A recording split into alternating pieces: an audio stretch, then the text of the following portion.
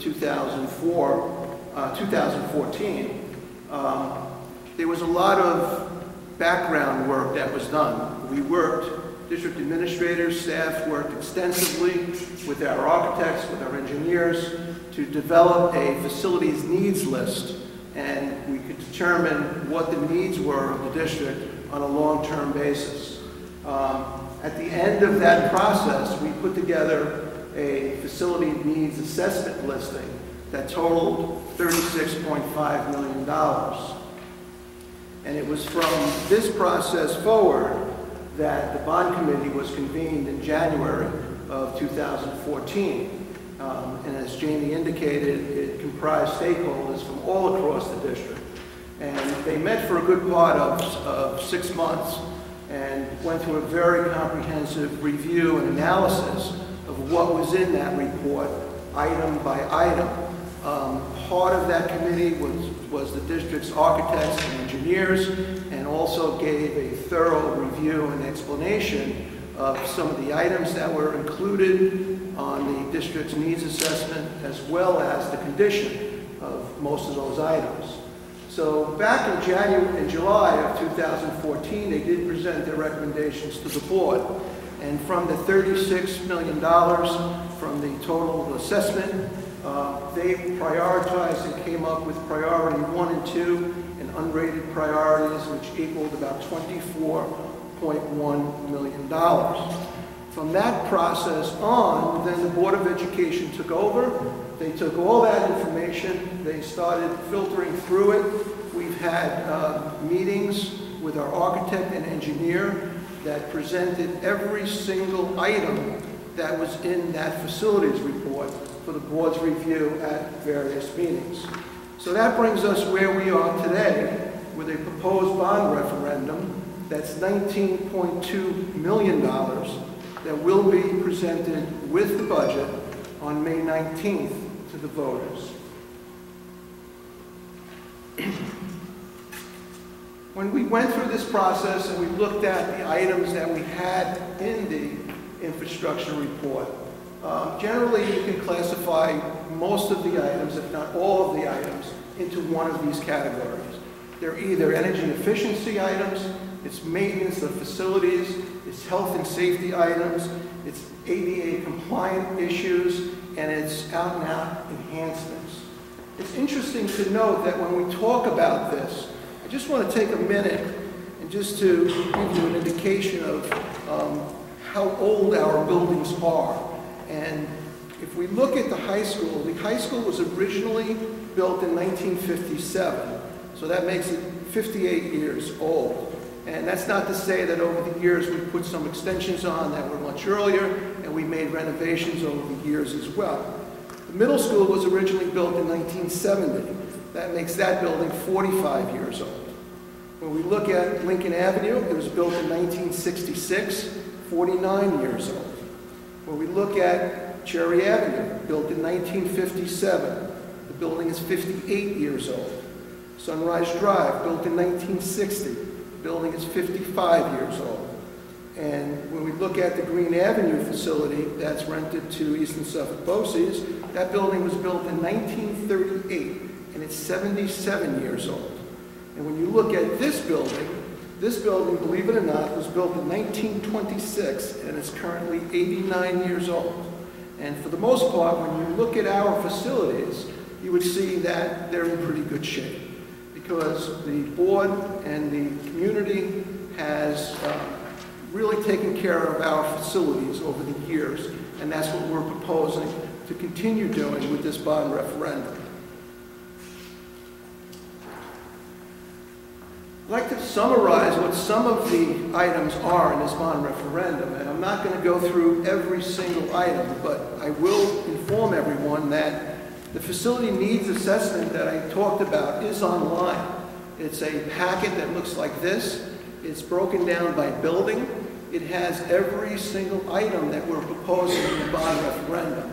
It, has one column that gives you the total uh, facility assessments that totaled to $36 million.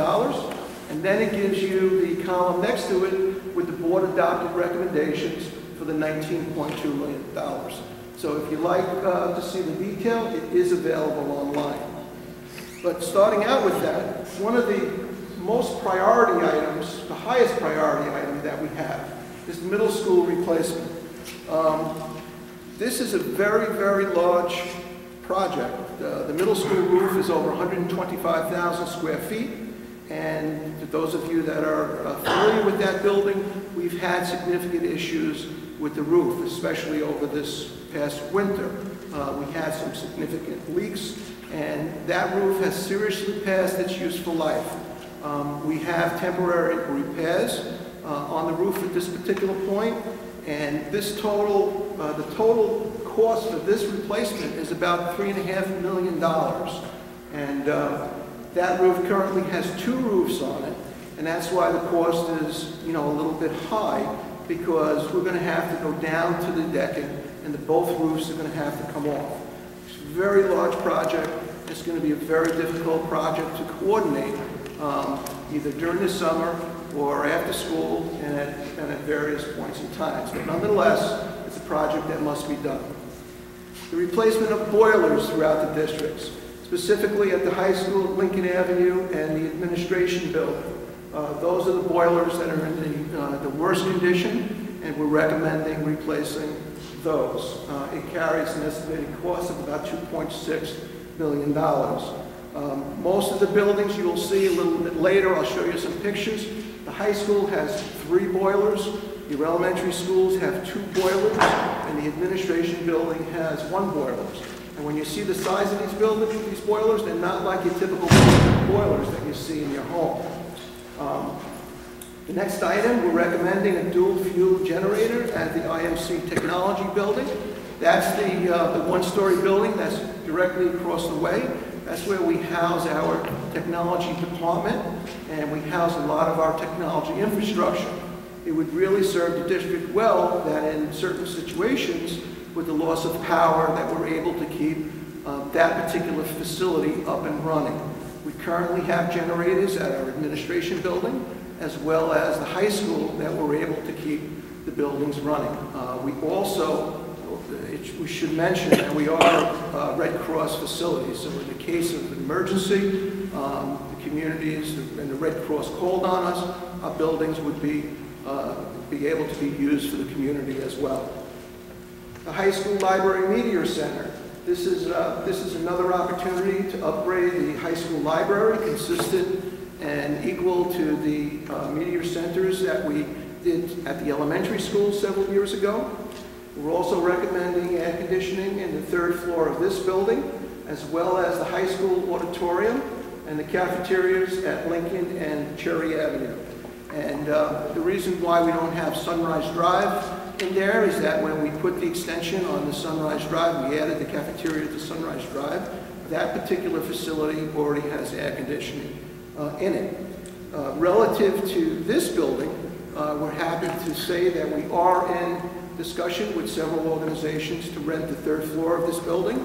Um, Currently, Suffolk Community College rents the first floor and the second floor, and um, they have expressed an interest in renting the third floor as well. So it's our hope that uh, any cost considerate, considerate with the air conditioning at the third floor to go junior high is going to be offset with rental income as well as uh, building aid. So uh, not a bad return on investment, if you will.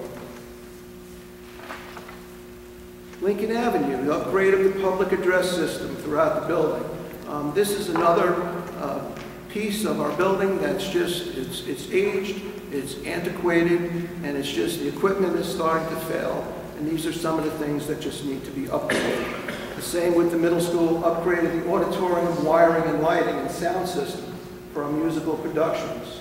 Um, And then we have our middle school pool infrastructure and ventilation system. We have a very antiquated ventilation system, and we need to really look at uh, improving that for the pool facility. Uh, An upgrade of our electrical service at Sunrise Drive Elementary School. Uh, This is something, when we put the last extension on, um, that we really were at full capacity uh, with our electrical service.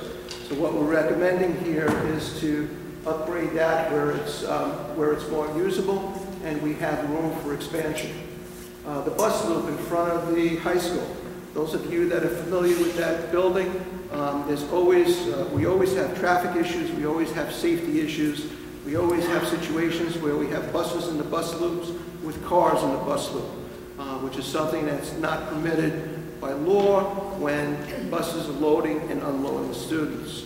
So this is something that we have all that space in the front that we, uh, we would like to put a bus loop in, and in with that bus loop, we also have the availability to put a few more parking spaces.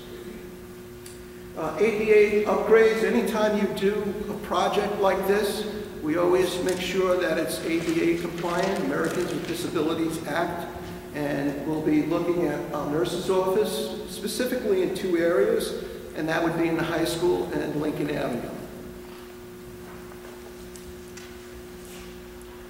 Additional parking at Lincoln Avenue Elementary School. Um, Right now, based on the staffing levels that we have there, there's not sufficient parking. We do not have enough parking spaces.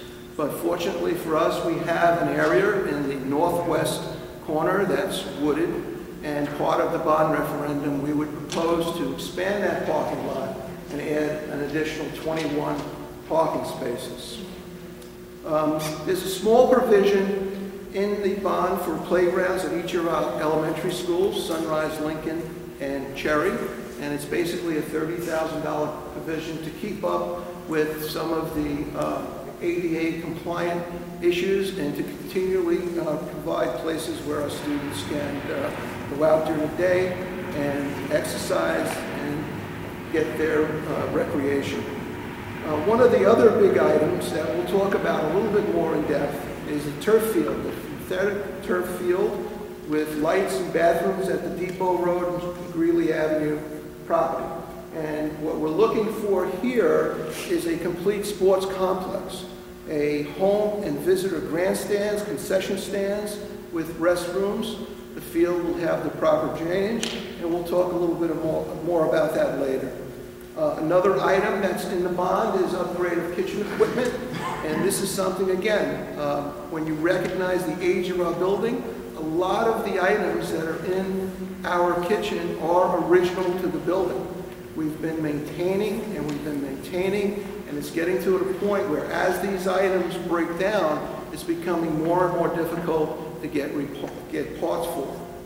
Um, We looked at our district-wide paving and updating our storm drains. That's something, that's, that's a, that's a maintenance issue that must be done on a district-wide basis, um, especially with the winters that we've been having. With all the dirt over a period of time, your storm drains, your drainage, it fills up with sand. These things have to be, these things have to be opened up, they have to be cleaned up, and cleaned out, and ensure that the proper drainage is in place. And this will all, also allow us putting in additional drainage where needed throughout the district. We experienced some flooding at the middle school, we experienced some flooding in the parking lots at Cherry Avenue. Looking at this very carefully which would allow us to do that district-wide. Um, Upgrade security intrusion alarm systems. These are your um, security systems, if you will, that are in the building. Again, these are, we have aging systems, and what happens when we go to add additional panels, additional keypads, when things break down, it's unfortunate, but we're having a real difficult time in getting these items repaired. Um, So one of the things that we have to look at is upgrading the technology, because a lot of the technology um, that that we have is basically obsolete. And when you look at our emergency lighting and fire alarm system, uh, we run into the same issues. The technology is moving so fast that as these systems break down, companies are really not maintaining the things that we have. And it really behooves us to, um, to upgrade these particular uh, items within the building.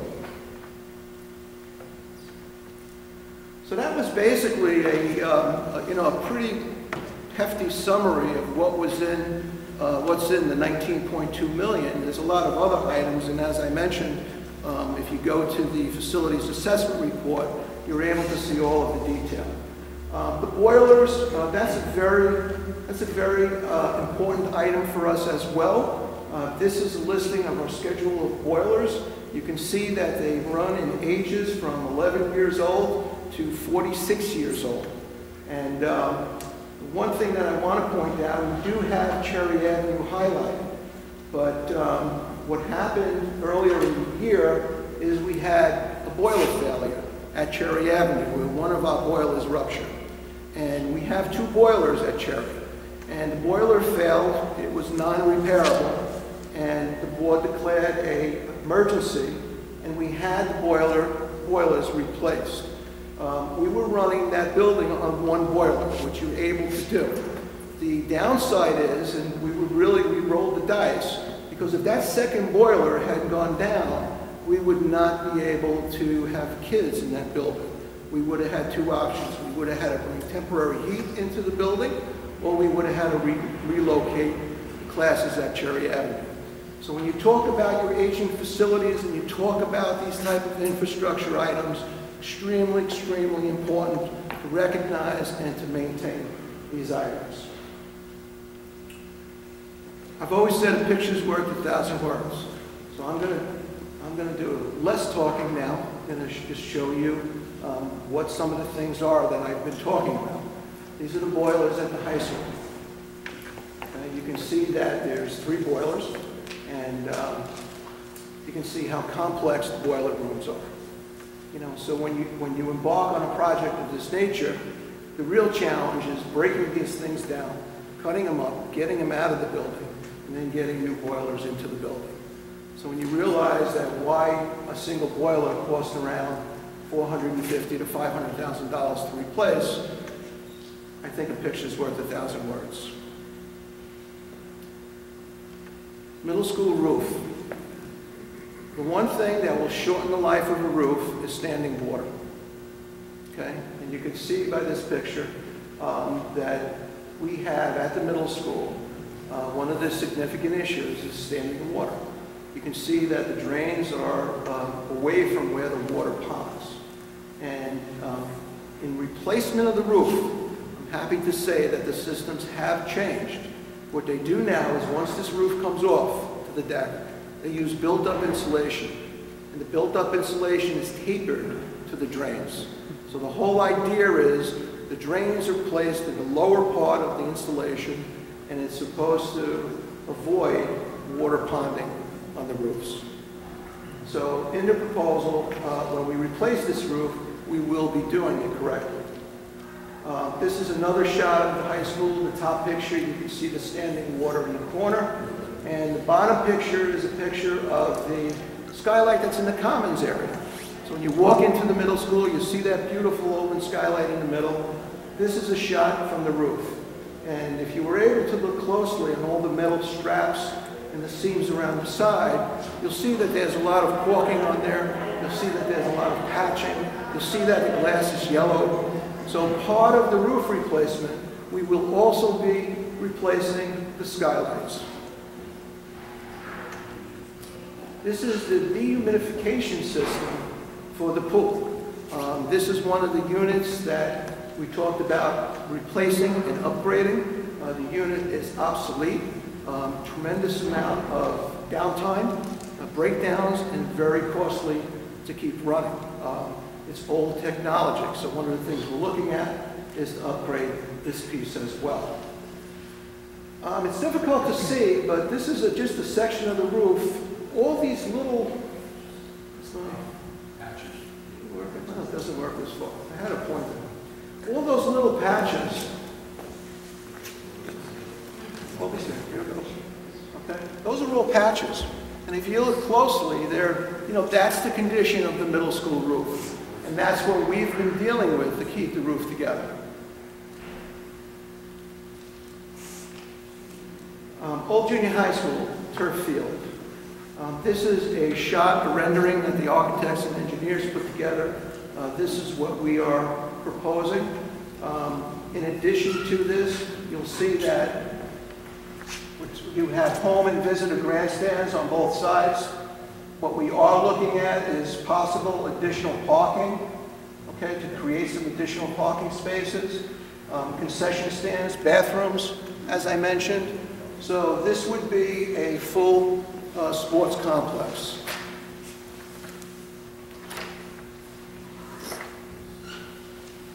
Just to talk about parking, because I know that parking has always been a concern. Um, We did a little bit of a study, and we looked at the parking spaces at the admin building, at the old junior high, at the Green Avenue, and also at the public parking at the train station that's right across from this building.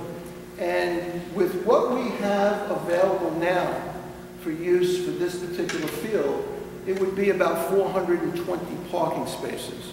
And about 20 of those parking spaces will be handicap spaces. So um, if we were to go forward with this particular project, again, we would be looking to expand that, being that the fields would mostly be used in the afternoon, um, it would make most of our parking areas available uh, for people that had activities uh, on the field.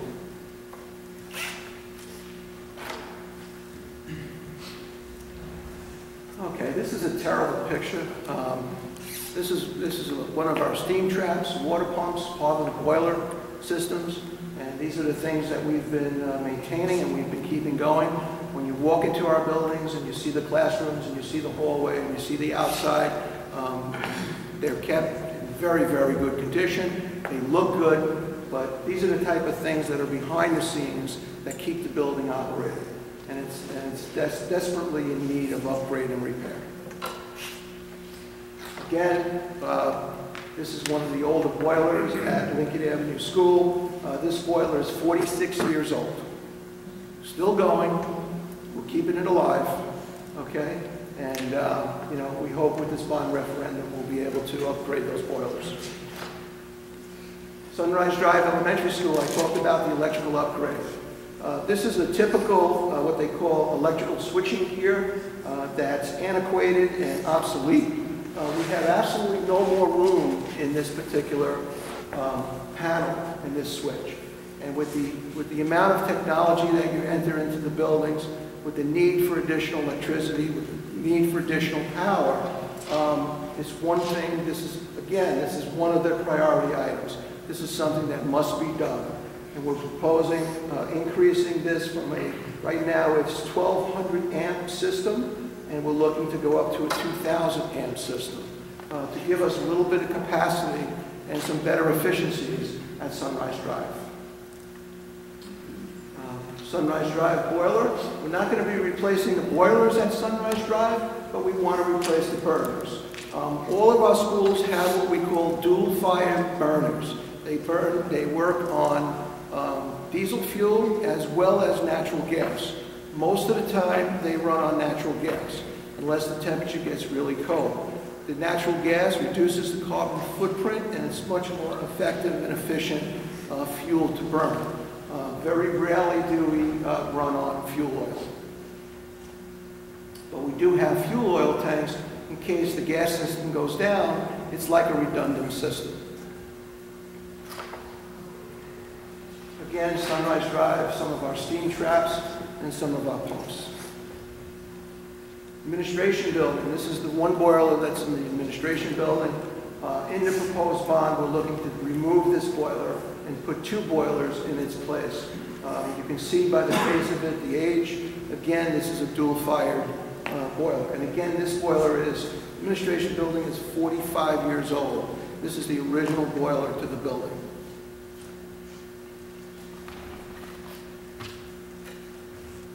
So that ends the picture show. And uh, the next thing that I thought might be helpful is during this lengthy budget process that really started for us in 2013, bond committee back in 2014, we've had many questions along the way. What if this, what if that? So FAQ, frequently asked questions, and I thought it would be helpful just to summarize some of the salient points. Um, we did mail a bond bulletin home to the community. It has a few more Q and As in them and a lot of information. And as we gather additional questions, we will be posting them a F- FAQ log or um, journal on the website that'll list these questions. So as we get the questions, we'll be providing the answers online so people will be able to um, have answers to their questions. So the first question that we, we received is what happens if the cumulative cost of all the planned bond projects exceeds the voter-approved bond amount? So what they're saying here is we went through a lot of projects. We're asking for $19.2 million. What happens as we're going down through these, this, the list if we don't have enough money to do the projects? Well, it's simple. You backtrack. The projects are done in phases. And what, what normally happens, we get to a point that once a project is awarded, we know what the costs are. And we keep track of that cumulative cost. And if we know that we're in a situation that a project has come over bid, we have basically two avenues of resolution. The first avenue of resolution is we can reduce the scope of the project, maybe not do as much, um, do half, do two-thirds, or we can not continue with that project. It's just cost prohibitive. But I'm happy to, to report that um, if the community approves this, this is, this will be my third bond issue here at Sayville. Um, the first two bond issues that we completed together, the $30.5 million and the $13.4 million, all the work that the district set forth to do was done, in addition to more work that was beyond. And the projects came in under budget. So, you know, we have a pretty good track record in managing these things. And um, we're confident that we can do the same if the committee uh, gave us the approval to move forward. The next question uh, that we'd like to address, how much of the $19.2 million bond will increase our existing debt service to the budget? Everybody thinks about bond, and right away they think the taxes are going up and my budget's, my budget's going up. In this particular case, that's not the case, because we've planned, and we have over $2 million of debt that's retiring in the 2016-17 school year. The idea of doing this now and planning the way we have is to offset some of that decrease with a new bond, okay? But keep it under our current debt service levels. And basically, what that'll do is, even with this new bond that we are suggesting that the community support, it will still reduce our debt service expense by over $300,000. And it might be a little difficult to understand what I just said, but I'm going to show you a slide later on that hopefully it'll tie it together and it, it will become clearer. But to answer the question, this new bond will not increase our debt service. Our debt service will decrease. This is another great question. If we don't bond, will our school taxes go down? The answer is unequivocally no. The outstanding debt service decreases by over $2 million in the 16-17 school years. The taxpayers will not see a $2 million savings. Why? Because we still have to fund many of those high-cost capital projects that we just looked at. The middle school roof, the boiler, the other infrastructure upgrades.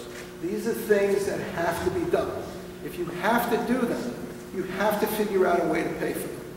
They can, you either pay for them one or two ways.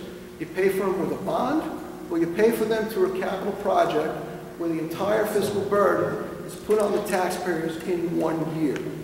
Okay? And I guess the best way to show that, I put together a simple example. I don't know how simple, but for me it's simple. On the left, we have, let's just take the roof. And we'll say the roof was a $3 million cost.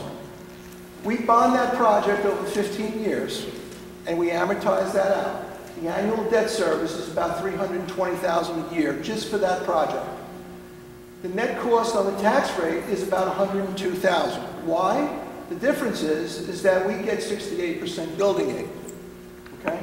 So if we take that net cost on the tax rate and break it out over home assessed at $40,000, the impact on the tax rate is 0.11% on the tax rate, or $14 a year. Okay? Very, very simple example. You move over and you say, okay, let's now fund that. We don't want to do a bond. We want to put that into the budget. Okay, we can put it into the budget. What happens? We take that $3.5 million, we add it to the budget the capital project line, okay? The building aid on the project is still paid over the life of the project. So what happens in the budget, the taxpayers are funding $3.5 million. The building aid is paid out over 15 years. So you got all your costs up front that you're paying for. Could you do it that way? Sure you can. Is it fiscally responsible? No, it's, it's expensive. What that would impact the tax rate, that would increase the tax rate 6.16% or $462 a year. Okay? And that's your upfront. So that's just an, one example if you isolate one of those items. Extrapolating that, taking that out further, without a bond, think about the boilers and think about the other items, putting them into the budget. Um, it would have a tremendous impact on the tax rate. Is that a good example or not understandable? No? Yes, Yes? thank you. Okay. Great. One more FAQ. Why is the district considering a turf field at this time? Um, During the bond process, we've had a lot of discussions about turf field. And I think to summarize, the number one reason is safety. Um, The excessive use of the depot field by our sports team causes significant damage to the playing fields. With just, with the amount of use it gets, with the weather conditions, you're just not able to keep grass in the goal areas and, and keep that field in a good working condition. It's just what it is and it's what it's been.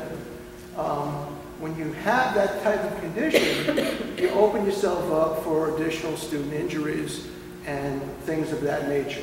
In addition to the safety concerns, the turf fields allows for fewer cancellations of scheduled practices and games caused by inclement weather.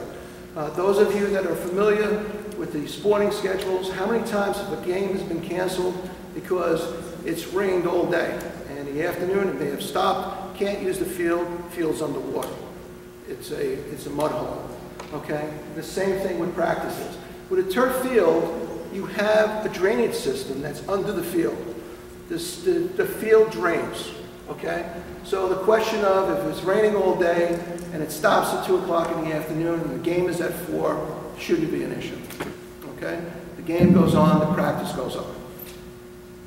Uh, It allows more of our interscholastic teams to utilize the field. Uh, Right now, because of the, um, because of the weather conditions, because of the number of teams, because of the number of factors, um, fields are at a premium. Um, That field is complete, is always used for our high school teams, okay? And um, by having a turf field there, we'll be able to open it up to other sports. Um, Girls field hockey, uh, girls team, in addition to opening it up on weekends and after hours for our community youth athletic organizations to use as well. So, you know, when you look at the pluses for a turf field, there are, there are definitely many. Another great question. There was a lot of discussion and debate that with the addition of a turf field in the bond, there's been many safety concerns raised as to the use of rubber infill. And the number one question that came out of those discussions, what has the board done to address these safety concerns? Okay? The board has looked at all of these studies, and there were many. I didn't even count them, but I don't know, probably 20, 30, if not more. Um, and at this juncture, all the professionals, including the state education department, SED, have deemed this, deemed this issue to be inconclusive. However, just because it's incon- inconclusive, it doesn't mean that we didn't take it seriously. So what the board has done, to their credit, is they had approved that if we're going to go forward with a turf field, we do not want to use infill rubber. We want to use organic infill. And what is organic infill? Organic infill is a product of cork, rice husk, and coconut fiber. It's slightly more costly than infilled rubber, but it takes the safety question out of the mix.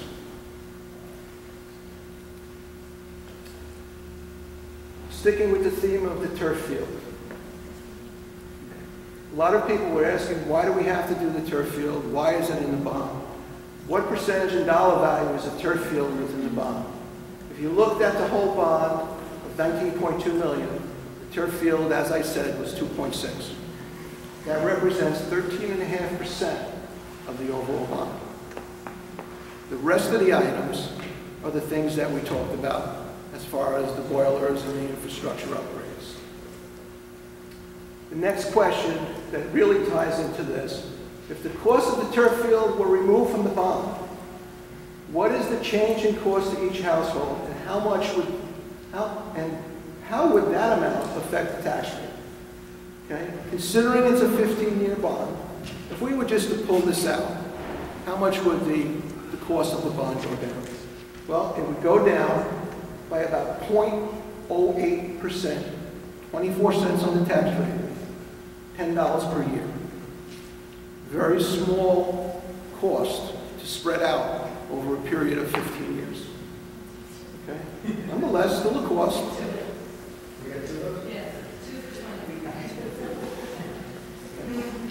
Just bringing the facts forward. Okay.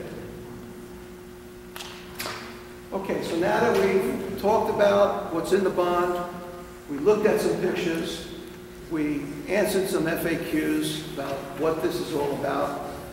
I'd like to just talk about some of the financing and what makes this a window of opportunity. Why consider a bond? Uh, First of all, as you probably surmise from this conversation, that the bond issue allows for the repayment of debt over time. This is no different when you purchase a car finance it for five years, six years. When you purchase a home you finance it for 20 years, 25 years, 30 years. It spreads your cost over time. It spreads your cost, and yes, there is an interest cost, but that too is aidable for the district. And by using a bond issue, we talk about when the building aid is paid by the state to the district. Building aid is paid over the life of the project.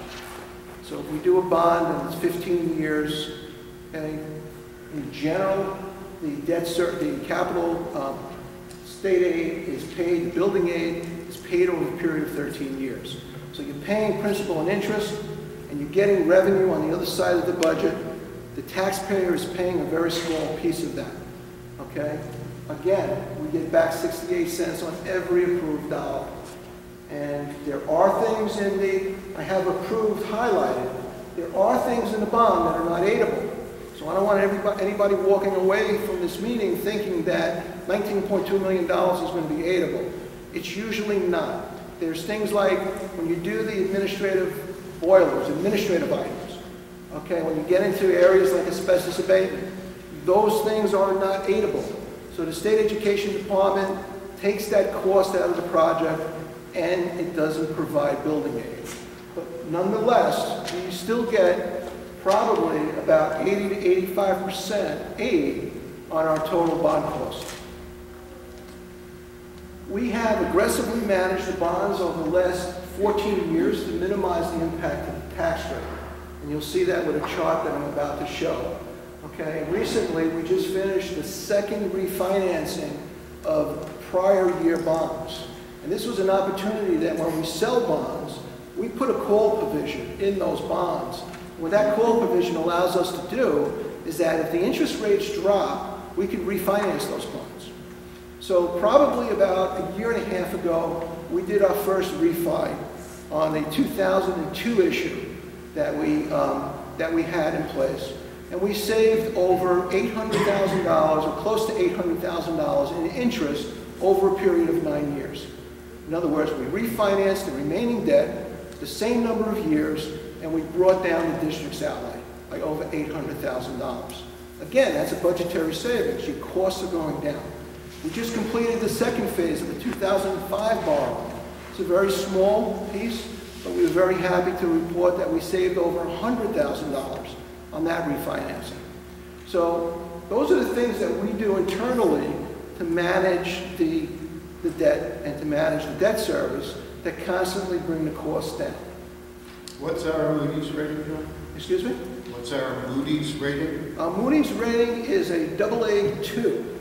And um, I guess the reason why Dr. Schartner says that, we discussed this at the last board meeting. Uh, I had the pleasure of working with our underwriters in Moody's for about three hours in reviewing and presenting the district's finances. And um, even though we had a $2.4 million deficit last year, operating deficit, um, based on the fiscal strength of the school district, they upheld our bond rating at a, at a double A2, which was incredible for Sayville schools. Why that is so important is because when you go out and sell bonds, the fiscal stability of the school district is key. And I know Jamie is, Jamie's smiling back there, he knows exactly what I'm talking about. To give you an example, um, when we first embarked on the estimate to refinance the 2005 bonds, we had estimates based on interest rates of about $72,000 that we were going to save. And because of our bond rating and the continuation of our bond rating, we were able to save over $100,000. So it's things like that. $30,000 doesn't sound like a lot, but when you add it on top of the already 800,000 and things like that, it does bring our costs down. And usually what happens when those costs come down, those are non-instructional support costs, okay? Those are the things that get, those savings usually get swallowed up to support the instructional program and to keep our instructional program going. And uh, that's one of the things that we prided ourselves over the last couple of years as well. So I mentioned that this is a window of opportunity. Well, I hope not just really show. Okay. The window of opportunity is this. Um, We are, in the 15-16 year, we are right here. And what this line represents is our current debt service at this point. We talked about a $2 million drop-off in the 16-17 school year. That's right here. In 16-17, our debt service goes down to this level. The window of opportunity is right in here. When you, need, when you have facility infrastructure needs, and you're looking for a way to finance it, that doesn't increase, oh boy, okay, sorry about that. That doesn't increase above your current level of debt, your current amount that's in the budget, okay? It's a win-win for the community. And I know a lot of people might not like that, but it is, it's a win-win. Why? Because when you look at this, this middle line is the 19.2 million. When you lay that over at a projected 4.25% interest rate, you'll see that our debt service does not raise above our current level. So we have a savings. Right here is the savings. We'll save over $300,000 in debt service where our costs will go down and we'll be able to move forward with all of the items that we talked about this evening. Okay? That's your window of opportunity. This piece up in here is the savings that you see through the life of the bond. As the bond matures, your costs go down.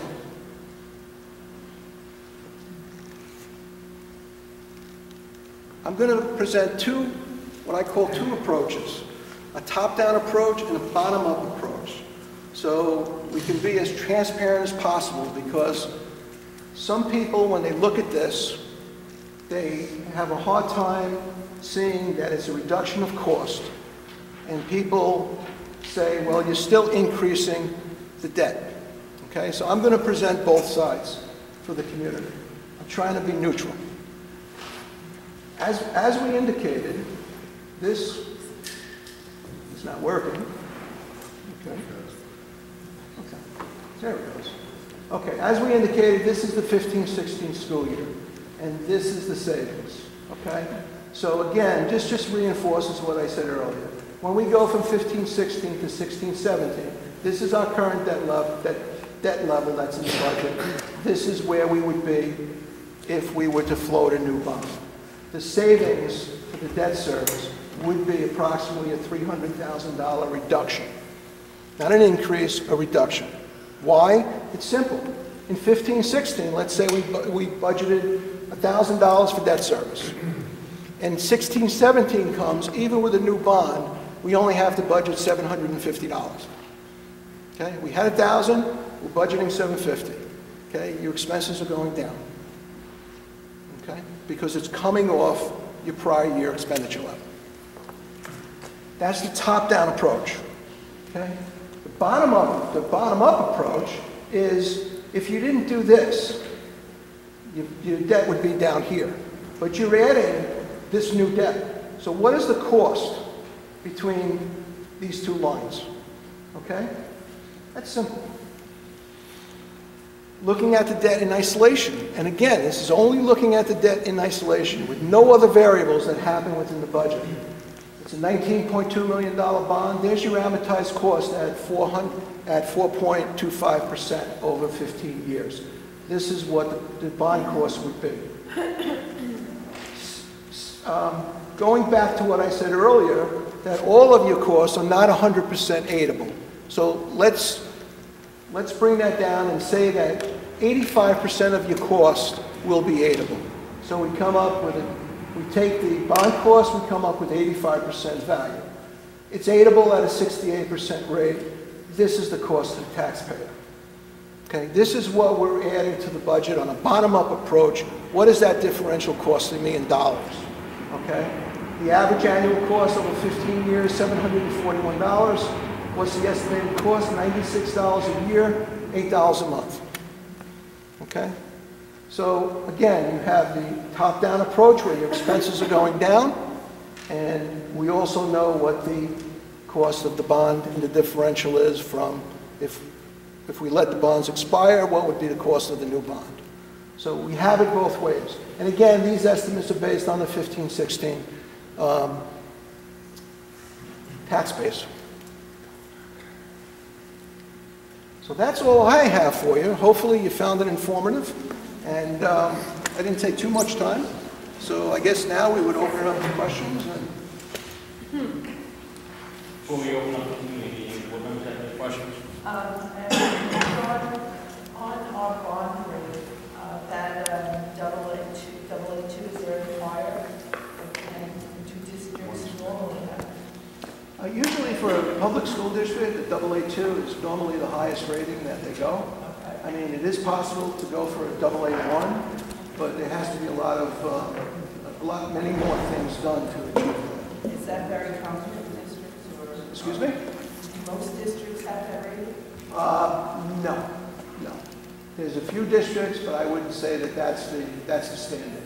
Um, You know, Moody's and their, and their credit rating, especially since since 2008 with the fall of the financial markets, um, they really take a, a a really stringent look at the district's finances. Not only the current finances, but the future finances. They want to see that the district has a plan. They want to see what the district's reserve, what their strategies are going forward, what the budget strategies are. Um, You know, these are all the things that I had the uh, benefit of talking to them about for about three hours. Stimulating. John, I have a question. Um, Actually, first, I'd like to thank Jamie for sailing the ship through the uh, bond committee process. Did an excellent job. And uh, I know at times it wasn't easy, but thanks for your, uh, your commitment.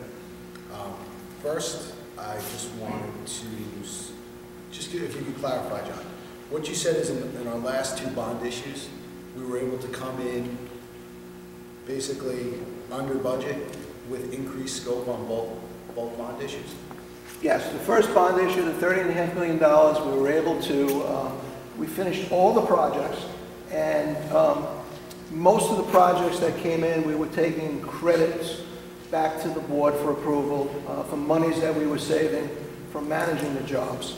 Um, And as a result, we were able to build the Sunrise Drive cafeteria, which was a unplanned project. It was on our planning screen, but it was not part of that bond referendum. So we were able to do that. And the last bond issue, the 13.4, much smaller, um, we were able to do a significant piece of the girls' bathrooms that we're doing now at Green Avenue. Excellent. So I'd like the community to keep that in mind, that even though we bond a certain amount, it does not have to be spent. And if we come in under budget, we can use those additional funds, if the board approves, for additional projects if need be. Now, that being said, uh, we currently have an energy performance contract with the district, which at no upfront cost to the district helps us to offset our energy costs. Again, at no cost to the district, and I'd like to thank John for, for seeing that process through. Um, When I became involved in, in the bond committee process, um, I felt that there were certain areas where maybe we could cover some of the costs in the bond with maybe an energy performance contract enhancement. So John and I had a couple conversations about this, and I'd like to thank Dr. Schartner and John for appointing me chairman of the Energy Performance Contract Phase Two Committee. And on this committee, what we're exploring is, can we do solar, maybe do cogeneration, outdoor lighting? Can we find ways to offset some of the energy demand and find ways to, to pull projects out of the bond possibly to lower the amount of money we can spend? So the question I want to ask you, John, is if we were to move forward with this Phase Two energy performance contract, is it possible to lower the amount of, take some of the projects out of the bond, per se? Um, Yes, I mean, that's something that we still have to flush out. I mean, I am, you know, I am an advocate and proponent of saving money and not having to spend it if you don't have to. And just for, um, just for the community's understanding what an energy performance contract is and how it works, is that um, it's a, It's a contract that's approved by the State Education Department that guarantees a certain return based on energy savings. And what that means is, is that we fund a significant amount of projects. And it ends up being a zero cost to the taxpayer because those savings are guaranteed by contract for every year of that debt service. So for instance, in one year, let's say they guarantee us a million dollars in savings. Let's say our principal and interest payments are a million dollars. Let's say when we do the analysis, guess what? We didn't save a million dollars. They were wrong on their projections. The technology they used was not correct. Well, whatever that shortfall is, they have to pay the district and make the district whole. So it's a contractual obligation, okay? So it's a no-cost uh, element to, to doing those type of projects. And we completed about $7.2 million worth of work throughout the district um, that consisted of changing lighting, ballast, uh, building management systems that controlled our heat and motions on our uh, lights, et cetera, et cetera, et cetera. So there was a lot of things that we've already uh, incorporated. As we look at putting a new roof on the middle school, there are opportunities to look at solar, again, through an energy performance contract, no impact to the taxpayer because it's guaranteed, guaranteed cost savings, okay? Um, In areas of the boilers, the boilers, sometimes you might get, the payback is a little bit long for an energy performance contract. You gotta have the savings within 18 years. Uh, But to to answer Carl's question, yes, there are things in this bond issue that we may be able to piggyback on or pull out, if you will, that may be able to achieve additional savings as well. Who's the energy performance contract with? Who's providing that incentive, that bill?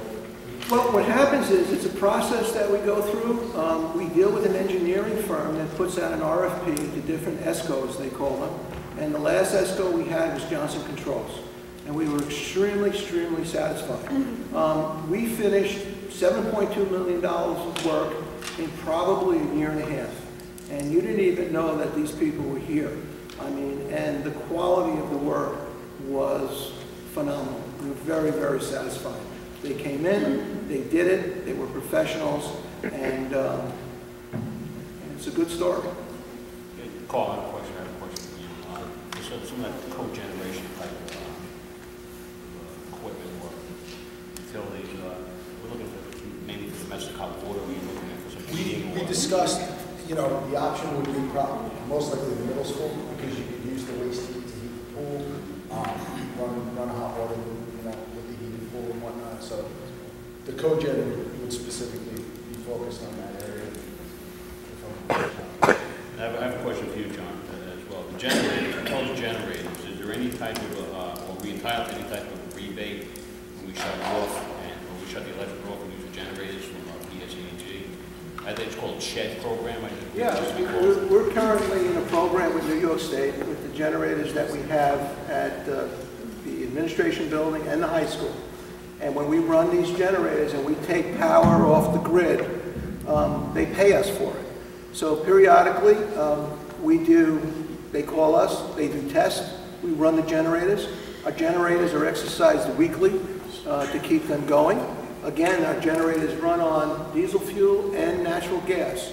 Uh, Mostly they run on natural gas, they just use a little bit of diesel fuel to lubricate the motors. But we do receive, um, we do receive compensation from the state on that as well. And those projects are also aidable, so you also get your 68% building aid on the project as well. Uh, the middle school roof, and the part of the middle school roof where the pool is, is that part of the same roof, uh, Yes, bond? yes. Any other- one second, I'm sorry. Any other, board members, question? Okay, uh, we have some community members who'd like to question, you can step up to the mic, or you're not required to do so, please, you know, like, show your name, so please, on. Um, My name is Mary Fisher. Bottom line is, do we need it or do we want it? I think we definitely need the middle school roof. It's been leaking for ye- three years that I know that my kids have been going to school there. boilers maybe, everything else would be like put off. There are 100 foreclosures in this town alone. Our houses are worth nothing. We're still in a recession, people have forgotten that, and you're asking for a $19 million bond. It's insane. I am going to be talking to everybody I can in this town to vote this down. Piggybacking off of what she said, my name is Alia Richards. Um, I've addressed this a number of times, I'm not the only one. Um, just to go back to, um, Mr. Belmonte's page regarding, uh, bonding these necessary projects versus putting them in the regular budget. And, um, especially because you pointed out how irresponsible, how financially irresponsible it would be if we had to do it through the normal budget. Um, this was an FAQ that you didn't cover. I brought it up, other community members brought it up. I, I kind of remember one of the board members was on board with this. Making it a two-step bond, the necessities mm-hmm. and the what we want. And, and then you really get to know what your community wanted. You know, the fact that that idea was kind of tossed around, I guess you didn't do it and I'm really disappointed.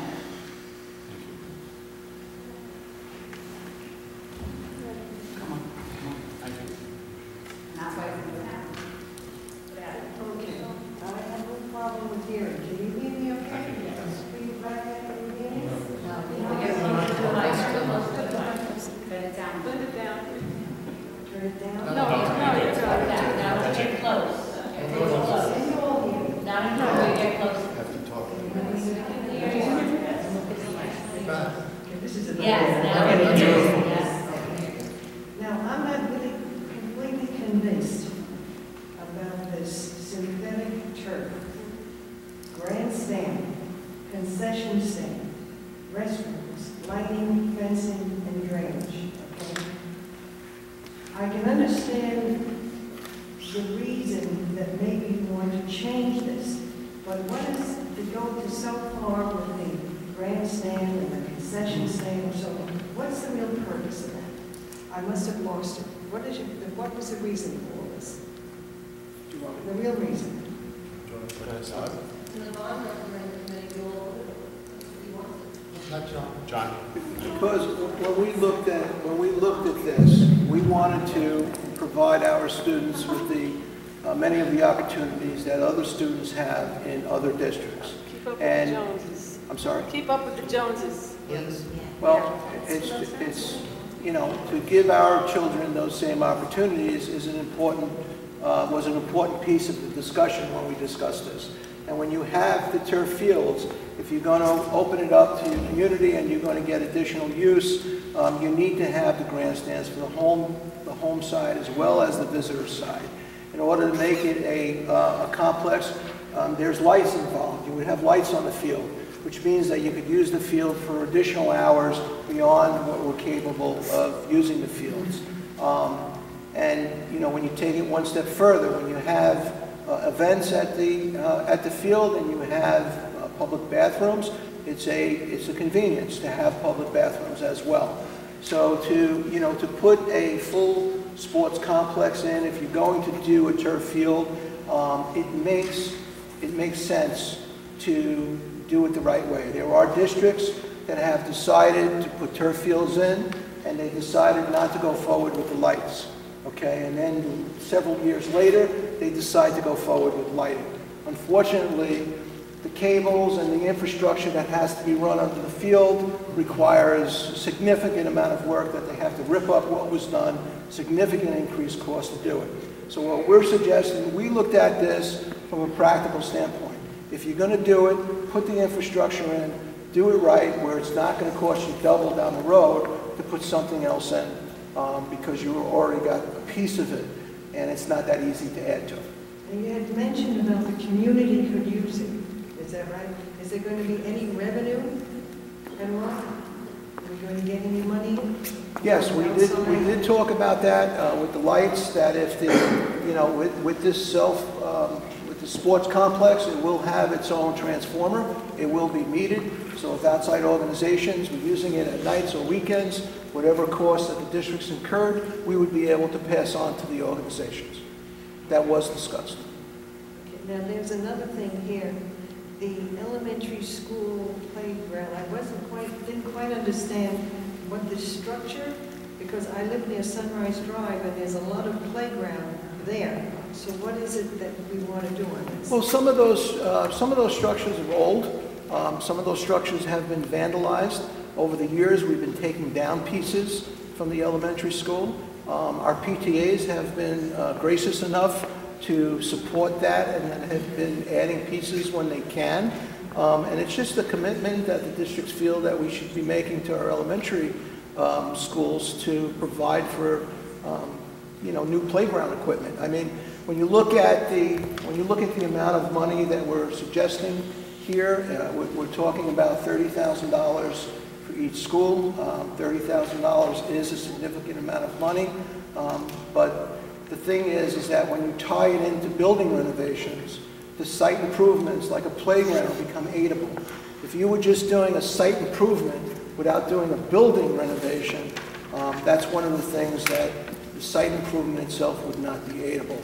So again, it's looking at the big picture, it's seeing the opportunity, and saying, it makes sense if you're gonna do it, and if you're gonna spend thirty thousand dollars, well, you might as well get building aid on it, and you might as well tie it into the project. Now, this also on the high school auditorium air conditioning. Now, air conditioning, I think of summer. Do we use the auditorium in the summer? Um, I could say, well, we have the high school principal here, but I can honestly say that our buildings get used 12 months out of the year, especially our high schools and our middle schools. We usually have summer schools in there, and especially when you look at the elementary schools, you got to keep in mind that the elementary schools don't have auditoriums like the high school and the middle school.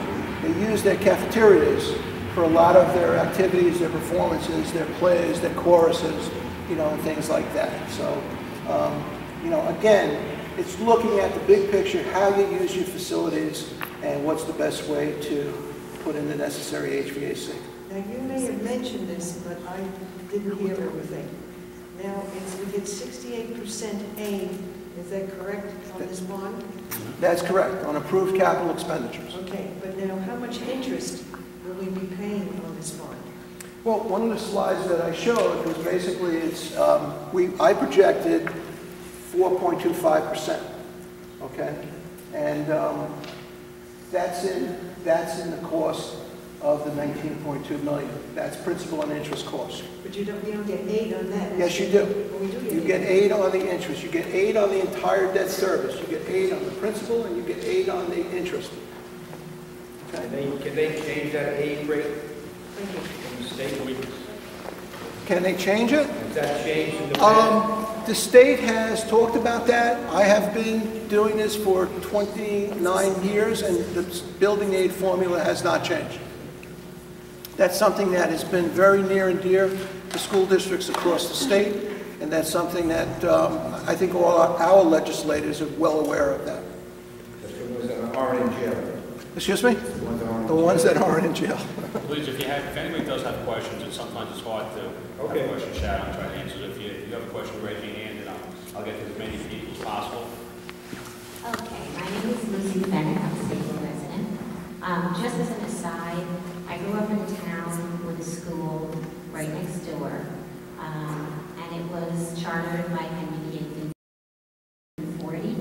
Now, that's an old school, not one that was built in 1960. That's 50 years old.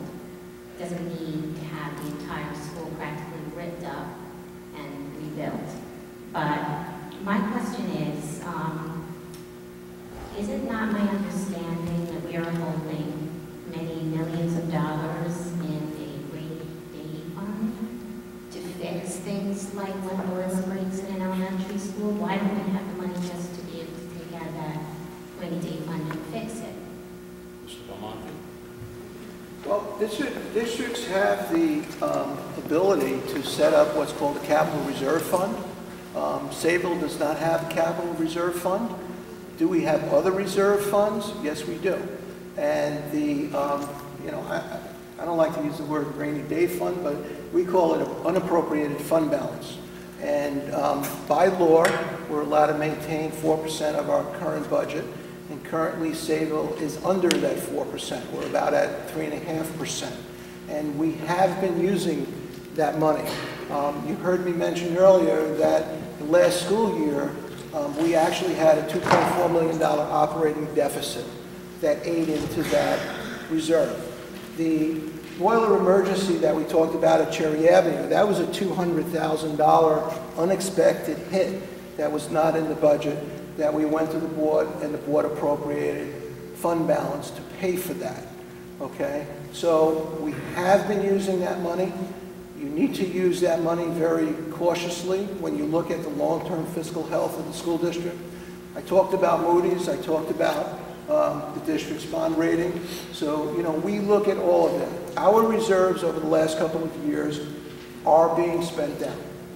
And we're getting to a point where you have to look at that very carefully.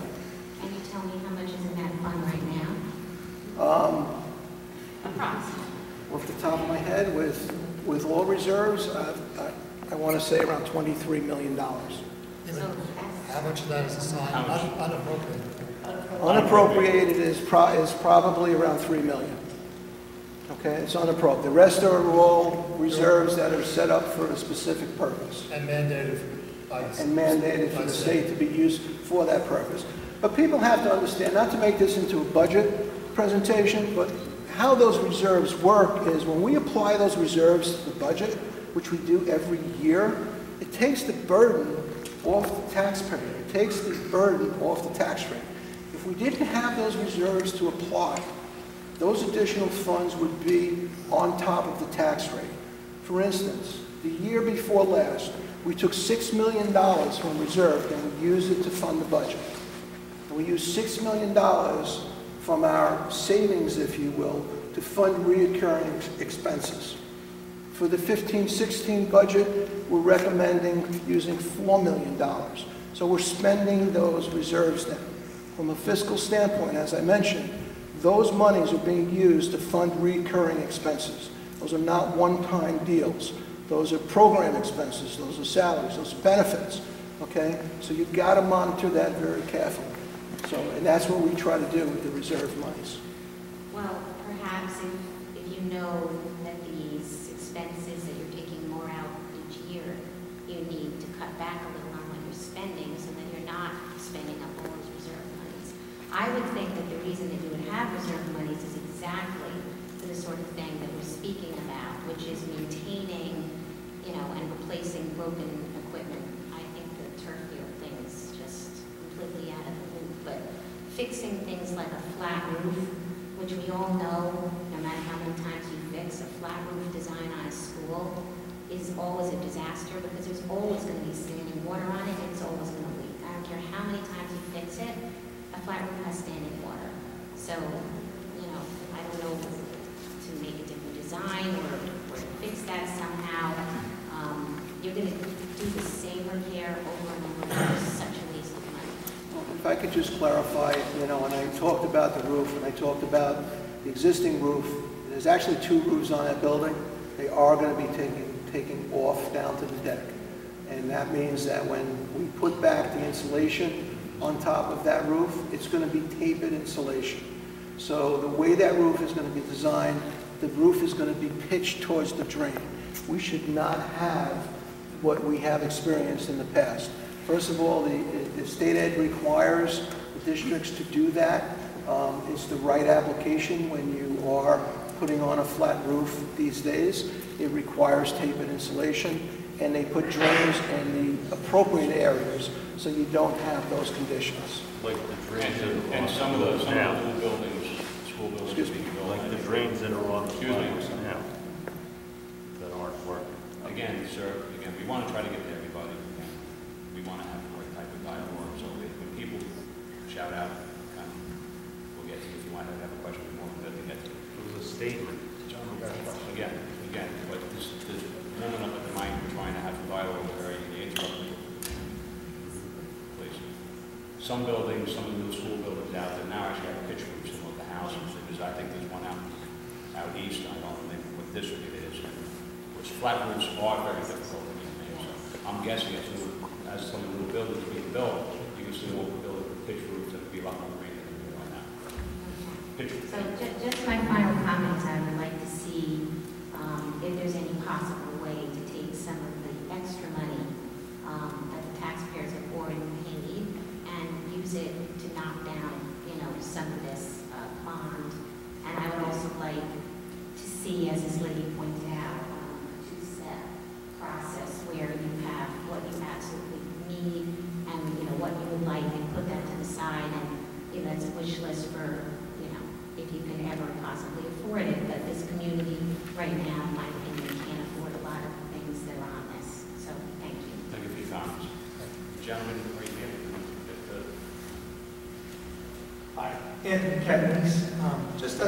two questions.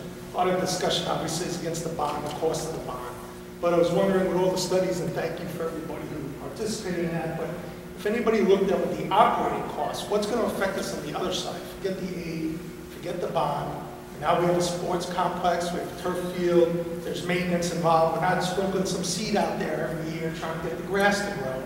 So what impact will the 19.2 million have on the operating costs each year to our, that comes back to us from the tax? Good question. Mr. Belmonte? Well, one of the things that we looked at when we looked at the turf field, we did an analysis um, with the architects and en- engineers and various studies that were out there as to the cost of maintaining a grass turf, a grass field versus a turf field.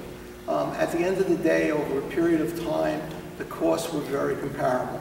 Um, Because realistically, when you get into a turf field, after a period of maybe eight to 10 years, you might have to replace the fabric on the, on the top of the turf. Um, You're not going to have the maintenance cost, the grounds crew cost, the labor cost, the seeding cost, the fertilizing cost, the sod form cost, and all of that things. But at the end of the day, over a 15-year period, the costs are, are about equal.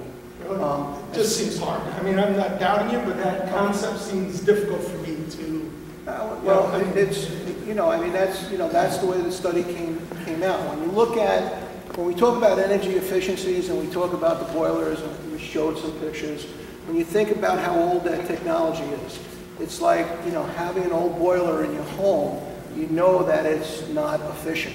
You know that a lot of heat is going up the flue, you know, and when you look at the, when you look at the new equipment that we're putting in, the, that equipment is energy efficient. So you're not using as much fuel, um, you're saving fuel, so there are offsetting costs. The same thing with the, um, anything that would require electric or power. Um, Some of the systems that we're running, they're high energy uses, and that's the reason that we did an energy performance contract.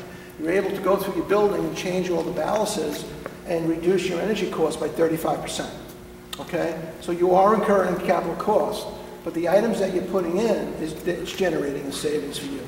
And that's why the state and the contractors could offer you that type of deal where we're guaranteeing you the savings. Because, you know, it, it, it's, it's a no-brainer for them. right, and and obviously efficiencies do help us residentially, they help commercially. I just went through it at home with a boiler myself. Unfortunately, home situation's different. The payback is, you know, 8, 10, 12, 15 years, and that would be my concern with the length of the bond, that some of these items, their payback is, is, is gonna be depleted as a result of when their time comes, that we'll be standing here again saying they've got to be replaced again. Um, I'm just curious also, because we all know interest rates have a big impact on $19 million, so how firm are you, how confident are you in the 4.25% projection that you're using? I mean, if we go out there and it's 5%, 6%. I am, you know, I am as confident as I could be. Um, I'm hopeful that based on the market condition and the trends and the price of long-term bonds and things of that nature, that actually when we get to the point to sell bonds, I'm hoping the interest rate to be a little bit less. And if the interest rate is a little bit less, then we'll take advantage, uh, we'll take advantage of those savings. And everything we talked about here, the cost will be less. Um, In addition to that, um, we do have call provisions in the bonds, as I talked about earlier. We've already refinanced two bond referendums. We're certainly going to build that language into this bond as well, um, to, if interest rates do drop, and we do have an opportunity to capitalize on that, we will refi the bonds. Right, there's And always that- and costs that doesn't- with that And that doesn't cost, yeah, but those costs were also put into the bonds, and the savings that I talked about were inclusive of those costs, um, because it, it's all built in. Um, If we didn't have those costs, yeah, we would have saved a little bit more than a hundred thousand, but the costs were built in, so our net savings overall was a hundred thousand on the last refi. Um, It's something that we manage aggressively. I mean, and then lastly, I guess you guys unfortunately have to concur with other people. There's items on there that clearly, I think anyone sitting here, seeing pictures would say are necessary. I, for one, it's, it's very interesting, as this lady had spoken before, I don't know why, but I did a Google search today. There are over 100 foreclosures, what she's saying is definitely true.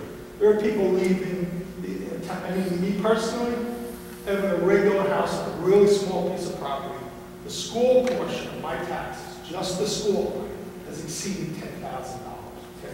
And all I can say, folks, is, I think as well, it should have been tiered, roofs, boilers, honestly, I mean, the trades, the estimates I see for done some of these things, I mean, no, no disrespect to Mr. Belmonte, I appreciate that you guys can get things done under budget, but some things are done, you know, I can do things under budget too, if the numbers are above where they should have been on the original bond. So you could, you could come under budget for two reasons, through good management, which I'm sure we have, but also through bidding, which is uh, somewhat inflated. All I can say is, I think the items that were necessary should have been put forth, and as other people said, sports complex, where I'm sitting, you know what, I'm a kid who played sports, grass didn't hurt me, water didn't hurt me, a canceled game didn't hurt me. I thi- I think it's way beyond, and honestly, as she said, personally, it's keeping up with the Joneses, it's image, it's what Salem wants, maybe, I guess we'll all find out, but I really think it's, it's, it's over the top, but thank you. Thank you for your questions and your comments. Thank you. I just want to say, I am thrilled with everything that is the bonds. Um, I do represent a pretty big part of the community. I'm a Sunrise Drive PTA president. And, um, I know someone had mentioned needs and wants. Turf fields, unfortunately, there are a lot of people in the community who feel it is a need, not a want. For many reasons that Mr. Belmonte said tonight, and as well as so many reasons that we're at board meetings and listen to them for guests. Um, I say right now, I have a daughter that's on the varsity lacrosse team, and I can't tell you how many practices they had to cancel. They weren't allowed to be outside. They were playing their first game against Farmingdale. They practiced for three weeks. And it was a disadvantage. on turf field. Yeah. Which gives us a disadvantage because we Can don't we have one want to person at a play. time, please? But, you know, it might not be a big thing to certain people, but it is to the people that are playing at that time. And, um, it's, someone mentioned the elementary, uh, playgrounds. I can tell you right now, if you separate that bonds, this might sound crazy to some of you, but in Sunrise Drive, the people there feeling the playground is the ghetto. They are so upset with that playground that it was put in the bonds. I know because of the representation that was at the board meeting for a couple months. These parents are so angry with not having a better playground. So they're thrilled that that is in the bonds. They will be there to vote because of a playground upgrade. And I know that a lot of kids that are youth sports, I see them every weekend. I have a kid in elementary school, middle school, and high school. I think it pretty much represents the big population in the community. And these kids in youth sports, if they think they can use that turf field, they are on it. They want to vote for it. They want this. As far as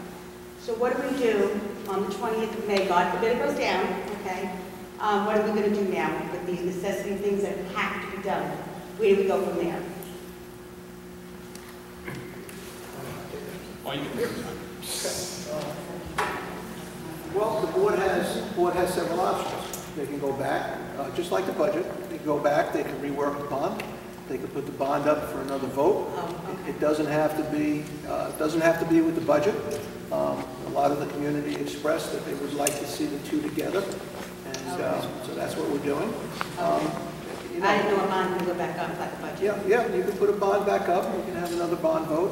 Um, They can put the same bond up, they can adjust the bond, they can put it up at a different time. Um, But the important thing is, from the takeaway of the presentation, that there are things that are critical.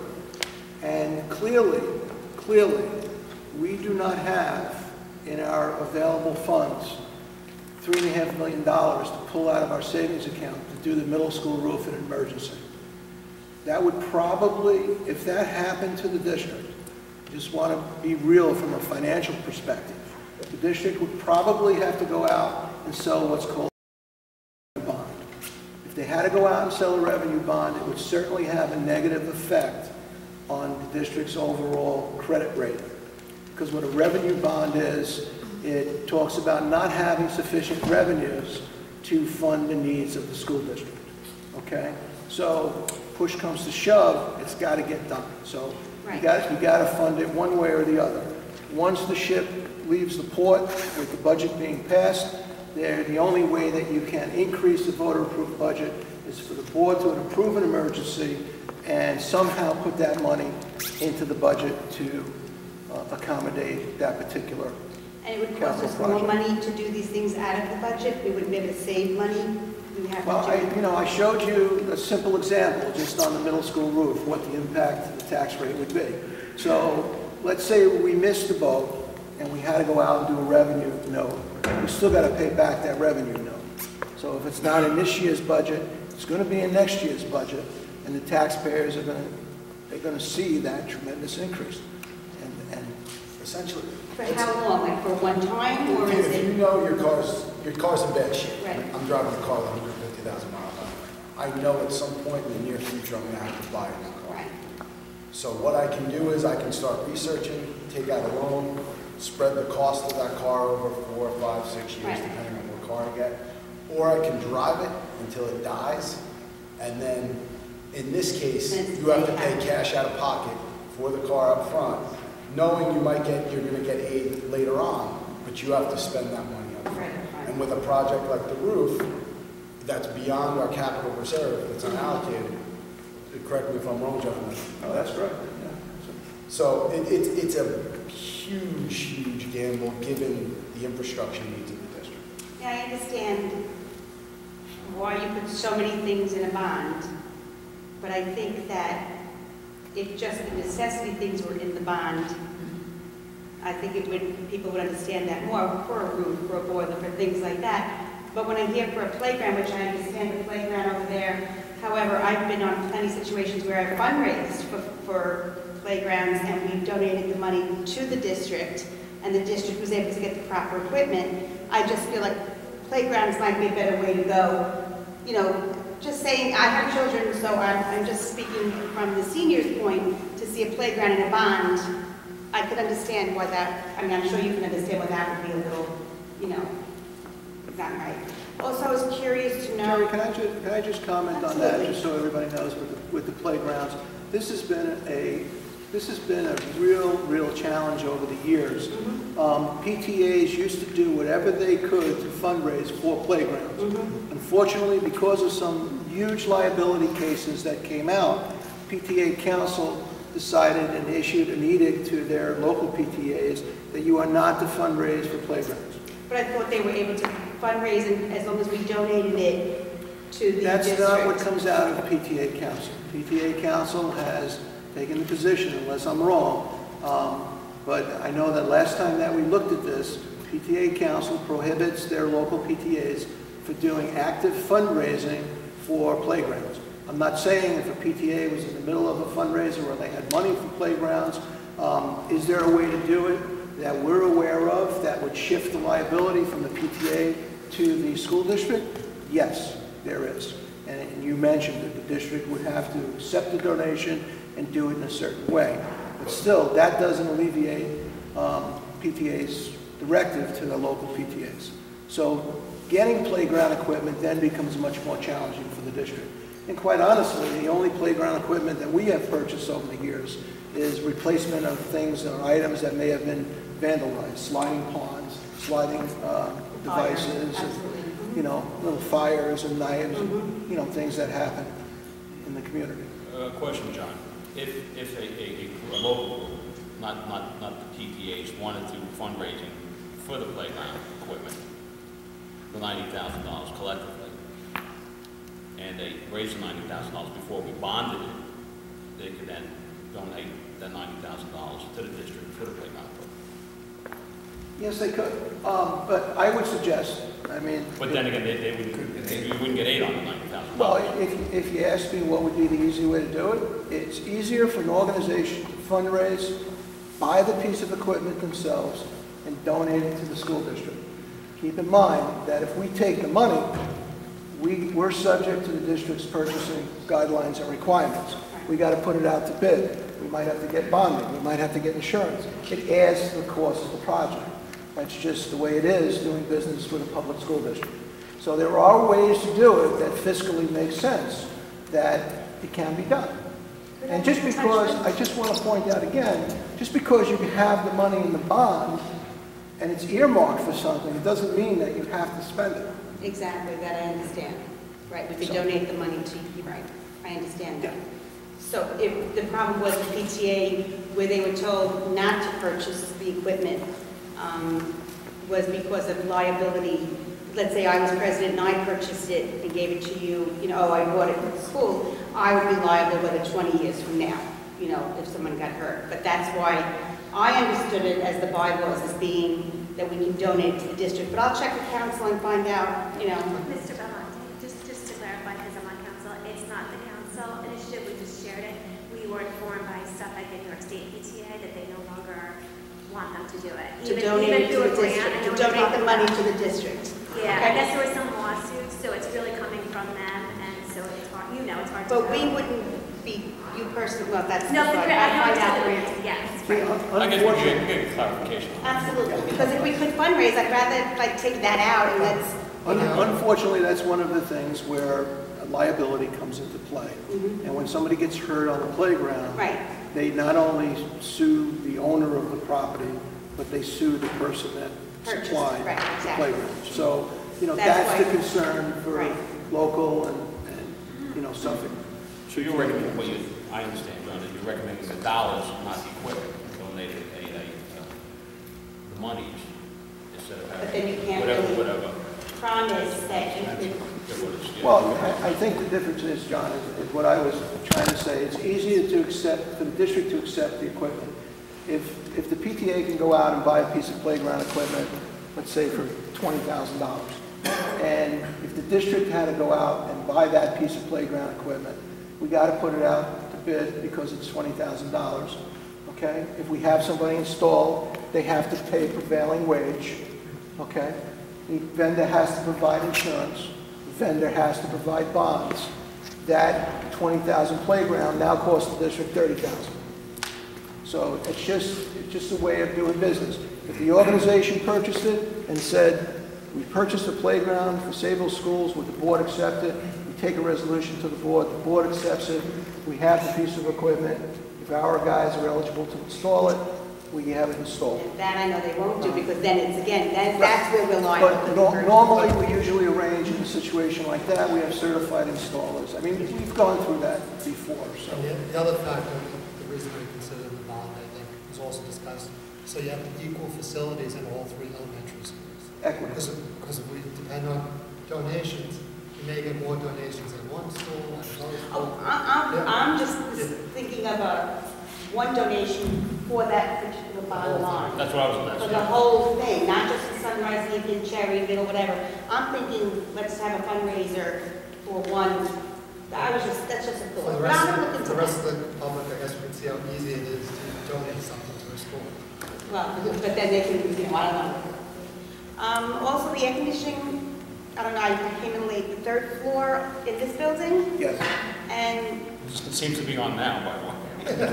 yeah, I'm just curious, Sorry, I- what's on the third third floor, you renting, is that going to be rented? The or- third, third floor is now vacant. Mhm. It's totally renovated. When we renovated this building, we renovated all three floors. And um, we're hoping that as of July 1st, we'll have the entire facility rented. But ha, but you don't think that somebody would rent it unless it's air conditioned? No, one of the issues, one of the issues that we've had with other organizations, especially when you look at a BOCES, or especially when you look at a college, they can't run their programs here over the summer. Heat rises, um, if you were to go up there during the summer, it's just, it's So just you think it also would be unbearable. okay. So by air conditioning the space and, you know, building that cost and coming up with a reasonable rent, market value rent, um, you, you're capturing the cost of the improvement that you're doing, project becomes aidable. You know, it's just like when we did the renovations in this building. Project was aidable, we're getting rent for a number of years, we're entering into a long-term lease. We can honestly say that whatever the net cost was to the taxpayer, we have recouped that in rental payments from Suffolk Community College, and we are in a positive cash flow situation. And you got a building that was built in the early 1900s that looks like this. Valuable, valuable asset.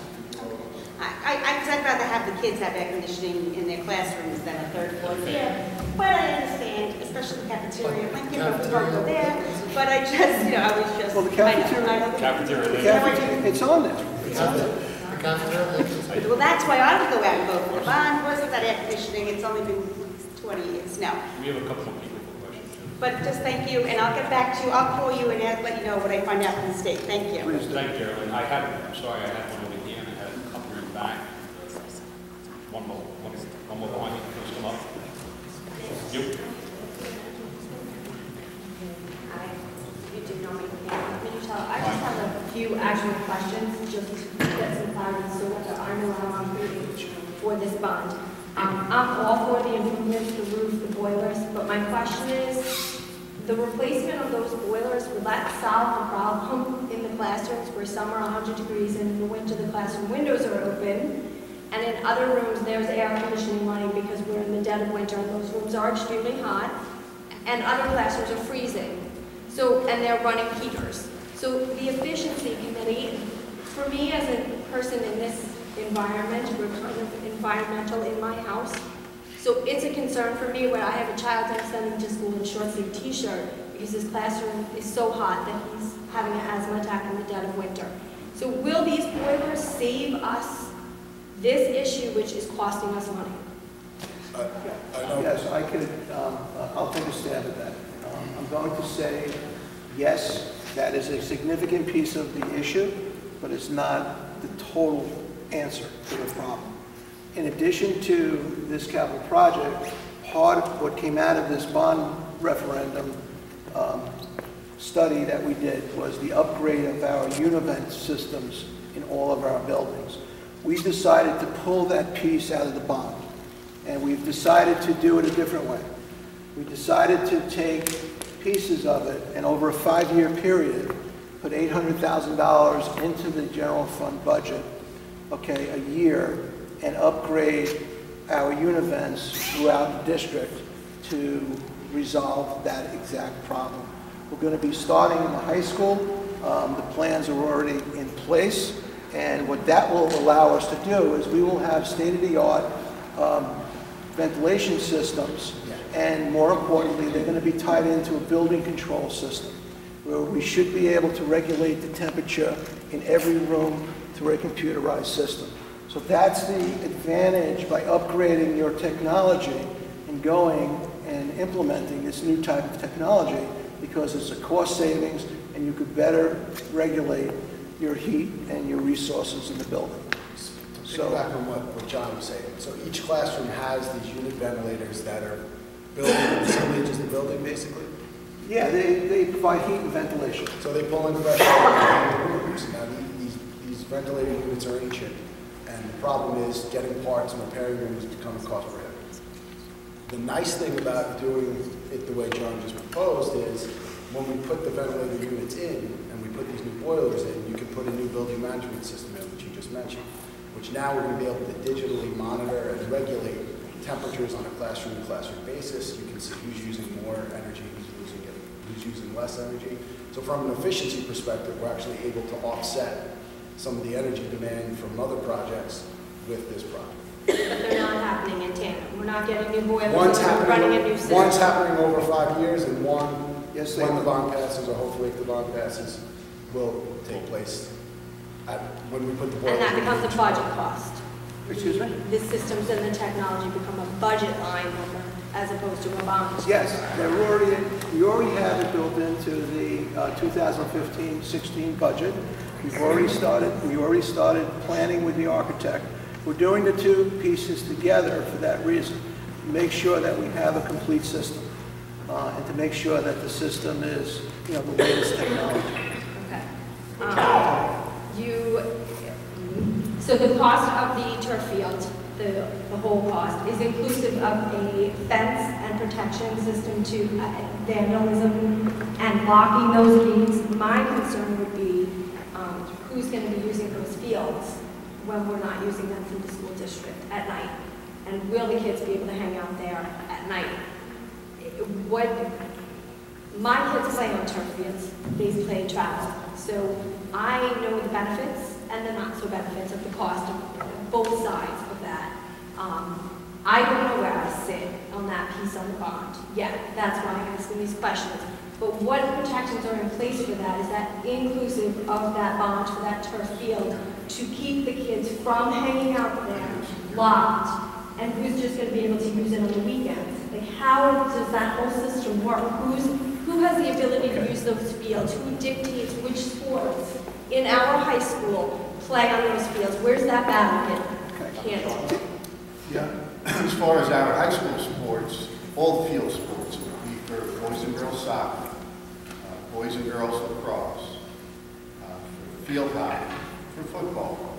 All the sports would use the, the turf, synthetic turf field. Um, As far as youth groups, the, you need insurance, so it's going to, going to have to be the the youth uh, football, lacrosse leagues, soccer leagues that have their insurance policies. And yes, uh, video monitoring and security is part of the, the system. And who picks between the sports that overlap in high school on that field at dictated time? They, they will have to be, again, that's why you have lights, so you can have more than one game a day. And every home game in that sport, whatever, if it's soccer, Because you have sports that overlap seasonally. So who picks? Soccer, football, Soccer, soccer, boys and girls, football and field hockey would have to be scheduled by the athletic director, so their home contests are there, and they have certain practice time. It would probably just be varsity, although I'm not sure, that would be the athletic director's call, and there would be the JV, we have the uh, grass fields. Walter, maybe I could just also, if I could tag on to that as well. Um, The Board of Education has a policy, it's a use of facilities policy. It's a process.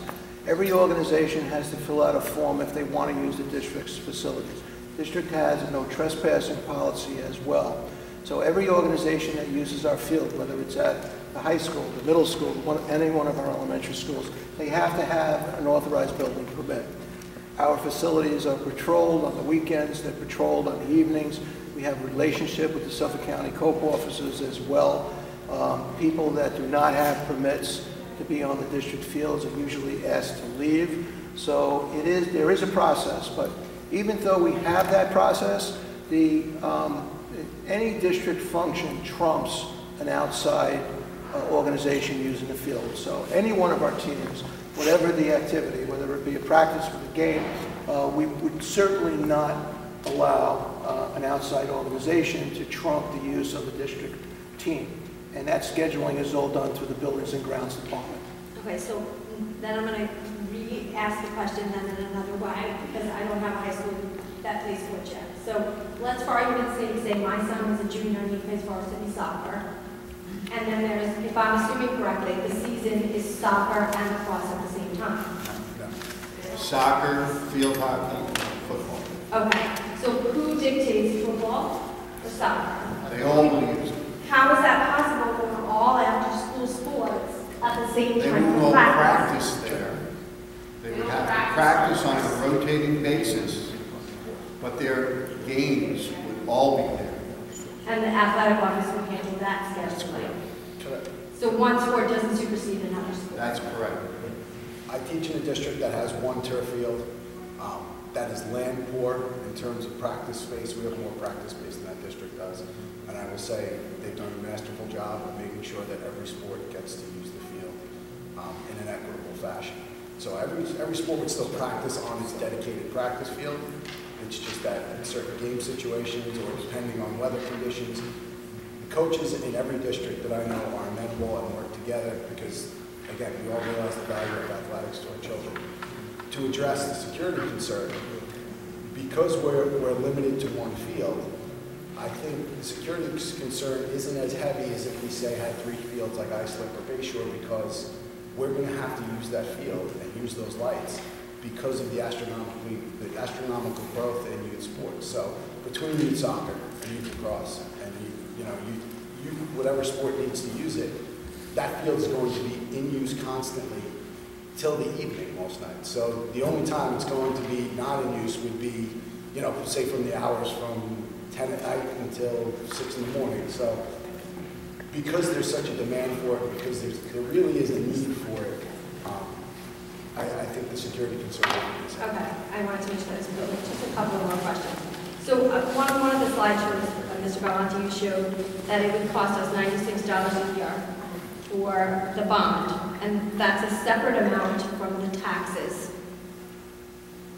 What are we actually paying on the bonds that we already have that are expiring and this is replacing? So are we paying fifty dollars a year on our bonds and now it's going to ninety-six dollars, or is that ninety-six dollars added to that amount? Um,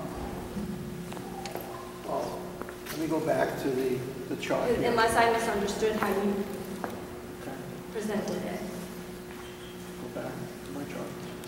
Um, Basically, when you look at what you're paying now, you're paying at a- an expense level um, that's at four point, just over four point two million dollars. Um, What that equates on a tax rate, I didn't calculate. Right here, John.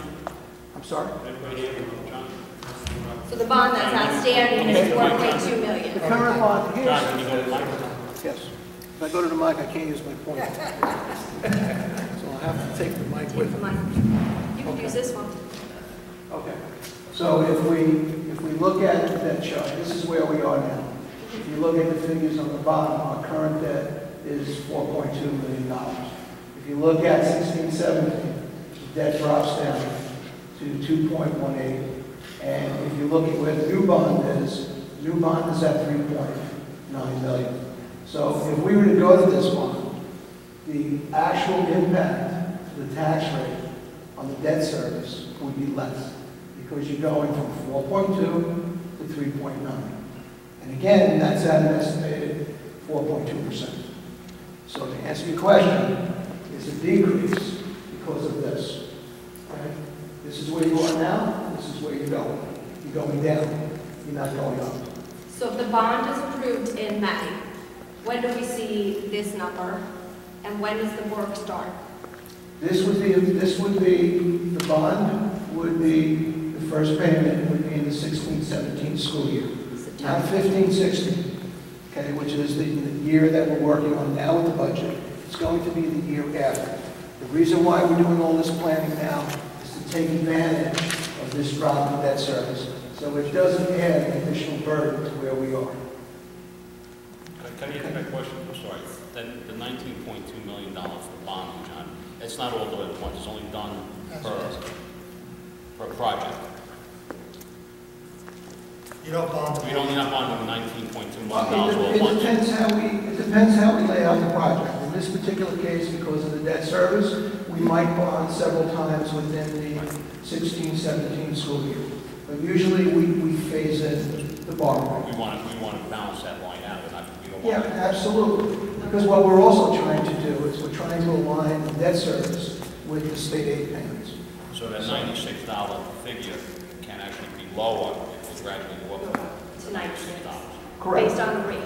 Correct. Based on the Based on- variable Based on the rate. rate and how much we But the bond, so the bond, we- you're, initi- and I, there's the banker. So the initial bond, bonds are a fixed rate. So it's based on when you take them out then. So in other words, I was under the impression, and again, my mistake, that you were taking 19.2 million and we're doing all the work. So that, that's exactly why you clarified that. So that would be at a fixed rate. So what you're saying is, it's, it's a variable and a fixed, because it's fixed on the amount when you're taking it. But as a public, it's a variable because it's based on the market and when you go into the bond itself. So if you don't go into the $3.6 million bond until a year where we're in a recession, not what that doesn't happen, again, that rate could, that rate fluctuates. So it's just like a home equity loan, it's whatever you get when, what they're offering. So the numbers that you're putting out at a higher rate of 4.25, the bond rate's a little bit lower, those numbers are not set in stone. They are variable numbers for us as a public and a taxpayer on a bond. Yes, that is an estimated number, but I would just also like to clarify, mean, I didn't want to turn this into a finance class, but um, you- when bonds are sold at a certain period of time, it does not mean that the rate is fixed. Most of the bonds that we sell, okay, the the brokerage houses or the agencies that bid on those bonds and buy them, we might have variable rates in those bonds. In other words, we might have five years at four percent. We might have two years at four and a half percent. We might have, you know, five years at three and a half percent. And then there's what they call, you know, the net effective rate at the bond. So this is, this is our best estimate. And when we, when we look at this from a fiscal standpoint, we really also track the market. Okay, so we have a good indication of where bond rates are going. Is it advantageous for us to borrow everything up front and not wait because we know that interest rates are rising?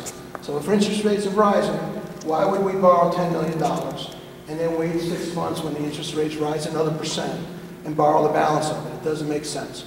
We would borrow the entire 19 million. So it all really depends on where we are in the point of time and where we think the market's going.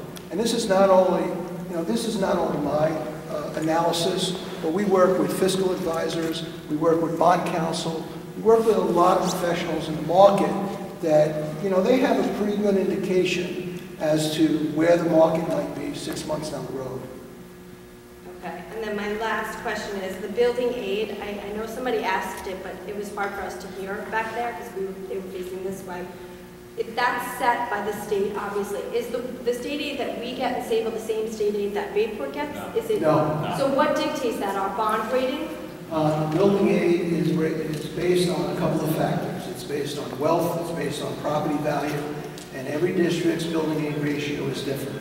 Districts that have a high wealth ratio, where they have what's called a combined ratio that's well over one, and very little, get very little state aid. There are districts out there that have, they're called flat aid districts. They get hardly any aid whatsoever, okay? We happen to be, our combined wealth ratio is at just under one this year. We used to be a little over one. One is the state average. Um, Some of the printouts I saw of the new state aid formulas have our combined wealth ratio just under one, like 0.96%. So our building aid ratio is based on those factors. Um, It's been this way uh, for many, many years. Do we anticipate this changing? Absolutely not. What the state has done, instead of changing the building aid ratio, they changed the way they pay out building aid years ago. It used to be that when you paid the debt, you got the state aid in the subsequent year. So if you spend $2 million, you got 68% of $2 million in the next year. Um, That became too costly for New York State. They weren't able to manage that as districts started doing all the infrastructure improvements across the state. So they had to figure out a way to spread it out. So they said, we're going to leave your building aid ratios the same. We're not changing them, but we're going to change the way we pay you that aid. Instead of giving it to you in the subsequent year, we think the life of this project is 15 years. We're going to amortize that aid over 15 years. And we're going to give you a piece every year. As, as John said, there are, yeah, there are districts on Long Island who are receiving above 68%. Boy, for example, I understand it's 74%. There's even, there's even some uh, districts upstate New York where we have well above 74%. I've heard of districts that even 1.25% back from the state. Well, my, the reason I ask that question is because if that number changes, that affects the amount of money when we borrow. So if we're getting less, We hope it goes up. well, it would be great if it goes up, but if it goes down, then that burden passes back to us again, correct? Again, for the last, I know my experience for the last 25, 29 years, the state has never adjusted the district's building aid formula. Once, you know, in districts, they cry very loudly when anything like that is talked about, because when you sell a bond and the community commits to a bond, we sell it at a certain rate. How fair would that be to the communities? to Turn around and say, we're paying you less money. They might figure out ways to make it, make the payments longer, but they're not changing that aid ratio. Thank you very Thank you. much. Right, right here, thank you. Field guys are there. They said the average lifespan of one of those turf fields is eight to 10 years.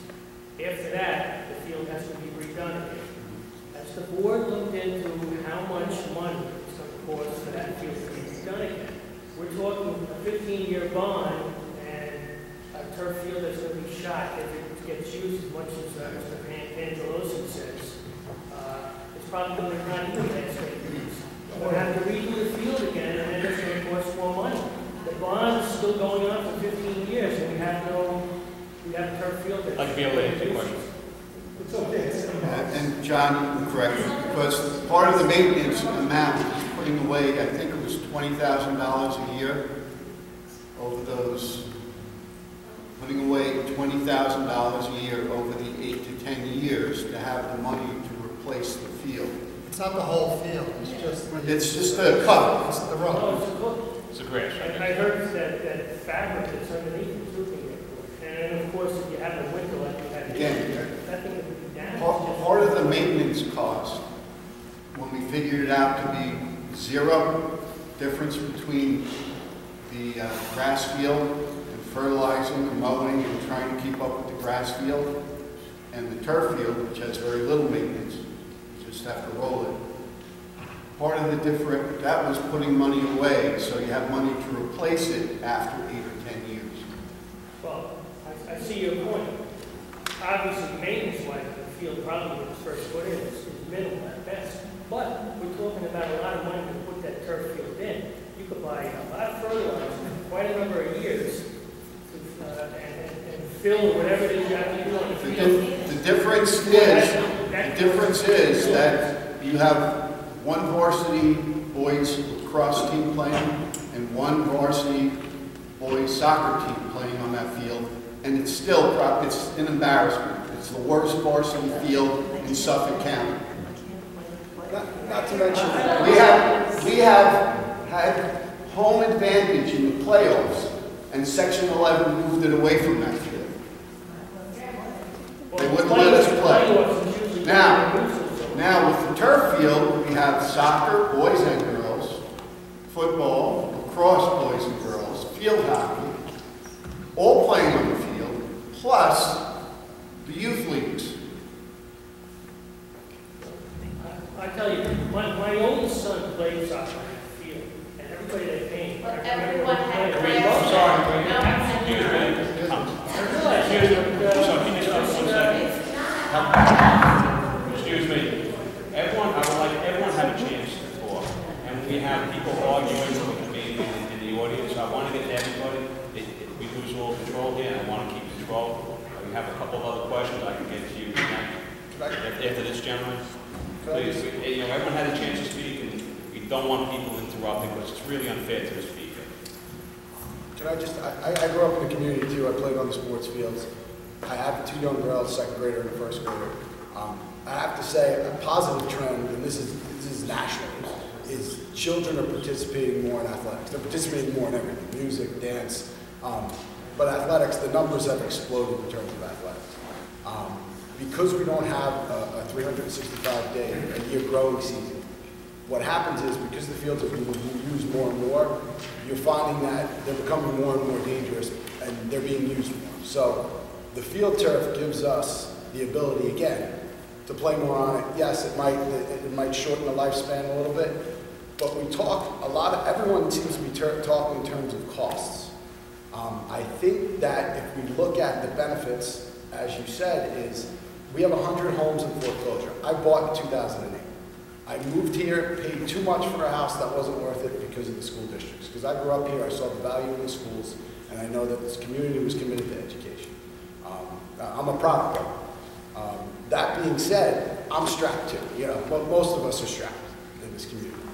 Um, But the value, the asset to the community is the school district. That's what's going to attract new home, home buyers, and that's what's going to keep your home values up. I, I, when I, I drive past Islip, there's three new fields. I drive past Bay Shore, there's three. This field is a necessity for most, people, most people, I shouldn't say it's a necessity. Most people see it as a necessity because we have a health and safety issue. But if we look beyond that, we look at the benefits. It's going to bring in revenue. More people are going to, to attend games. That means local businesses, people are going to spend more money on local businesses. Um, in the long run and in the big picture, it's really going to be a net benefit in terms of, this is, this isn't saying, you know, I'm not trying to, to say, you know, you should, even if you don't have kids, you should vote. Everyone is in their own situation and we understand that. But even if you don't have children, we personally feel, I can speak for myself, I feel this is a net benefit to you and to the community. It's at a, it's at a cost and an upfront cost, but in the long term, again, $150 over 15 years, and that's, some people don't have that, I understand that. But in terms of the overall benefit to the community and, and to your home value and, and to maybe your grandkids or, or relatives or people that want to come into the community, it's going to be a positive. I, uh, I have one line because No, I- my home value, you know, it, it's going up since I moved in when I had the house built. And, uh, we're talking, it's, uh, it's over thirty years ago, and it's going up a lot, and taxes are going up also. And, you know, there's a lot of people here that don't have kids in the school district that are gonna have problems paying for this stuff. It- it No, we- comes I- down to we- wants and yeah. needs, like uh, somebody else mentioned, and I, I I find it difficult sometimes to say, okay, there's a certain percentage of people in the town that have children going to school. I did too. I never had any problems. I always voted for the school budget, and everything. Never had a problem. My kids got uh, nice educations out of here. They went on to college and they both have success in their, you know, in their uh, married life. And uh, I have uh, no problems with it. But, you know, there comes a time where things like the middle school roof, it's got to be done. Yeah. You know, some of these other things and stuff like that. This other thing is kind of iffy, you know? I just want to say one thing also. The original need or want but uh, proposal was 36 million. Through the whole year going through everything, you know, we evaluated, you know, whether it be the committee or the board, and took things out that we said, yes, they're nice, but, you know, it's not prudent to do that right now. And, and- and there were even some in the committee, they wanted two turf fields, and said, no, that would be too much to do at this time. But the utilization factor of a turf field will be an asset for the district, and that's why I think it's good. Thank you for your question. Thank you. I have down here first, and I- then I can get to you. You have a question? saying that my taxes are going up every year, and you want another hundred dollars a year on top of the taxes that are gonna go up this year, and last year, and last year, and last year, for thirty years, and you're just saving me right out of my house, taxing me right out of the house. None of these things do me any good if I have to move, I'm being forced out. Been building houses in the Sayville area for thirty years. You saved me, you know, no matter how good the deal is, you're saving me right out of my house. I, I, I And, get and, and you get a new cafeteria in the Sunrise School when you buy a boiler. We renovated these two buildings, they were supposed to be for the middle school, now they're being rented out. I have, I have a question over here, then I can get to, It's not so much a question, I think I'm addressing the whole keeping up with the Joneses comment. Um, I think what, I, my biggest problem is my daughter plays on varsity soccer, all year long, they play on grass, great. They make it to the Suffolk County Championship, they go out to Galvin on a turf field and play against Mount Sinai, who plays on turf all year long, and guess what? We were at a complete disadvantage, okay? I know, I get it that it doesn't mean that much to everyone in this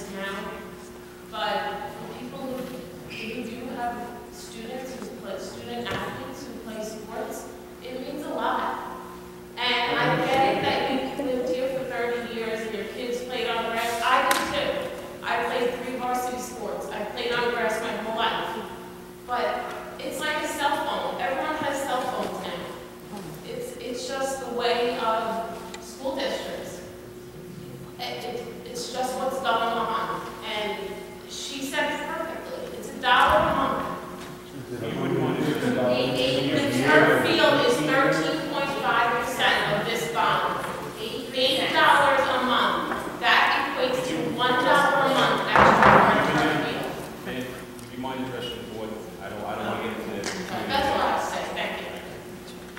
I'll get to you if, uh, if, Oh, uh, me? and I have a gentleman back there. on the- Is it me? Yes, you. Okay. All right, I only have a few questions that came up in the discussion. I think this- I got here over there before. Okay, so you had mentioned about, um, I'll I'll move this over. Okay. You had mentioned um, replacing some of the uh, playground stuff because of vandalism.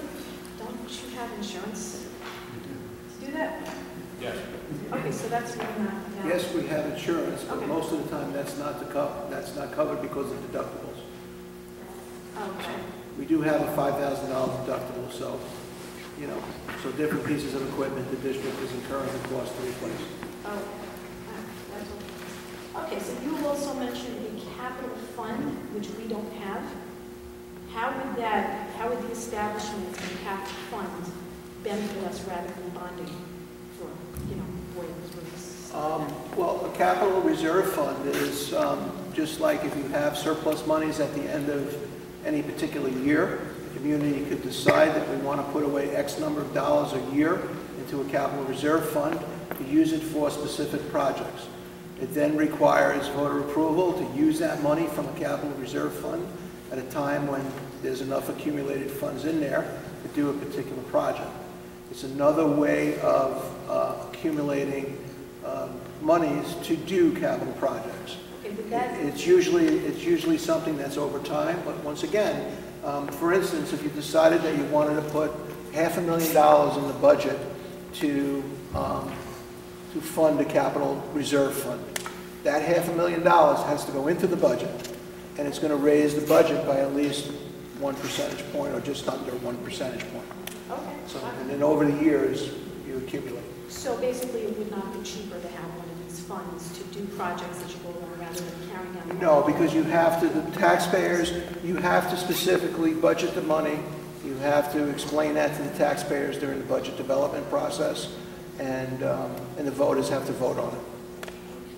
Um, My other comments, well, there's a there's a few things on them, but, um, you know, the sixty-eight percent that they're, that Albany is giving us, it's still our tax dollars, so we're paying for this either way, right? I mean, I'm not wrong, it's not a gift, Yes. right? Well, Yes. Spread out. It's our tax dollars coming out back to us. Okay, so I just want, I just want to make sure I wasn't, Yeah, but if I could just point something out on that point, it's, I think it's important to note that Long Island sends up seventy percent of the New York State revenue, and we only get back twelve. Right. So if the state is giving you sixty-eight percent of your building aid, we're funding, this- we're funding the monies for the rest of the states. So if we have that advantage, it's a good thing. Okay, all right. Um, let's see, so based on your bar chart, the, the chart, so we're never really gonna be out of debt, right? Over the next twenty Well, years? that's not true. Well, no, I mean, I'm just, I'm trying to get it through my head, because I, I totally get it, you know, you refinance your house, you do some projects, the rates go down, you refinance again, you do something else, but you're always still owing on your house.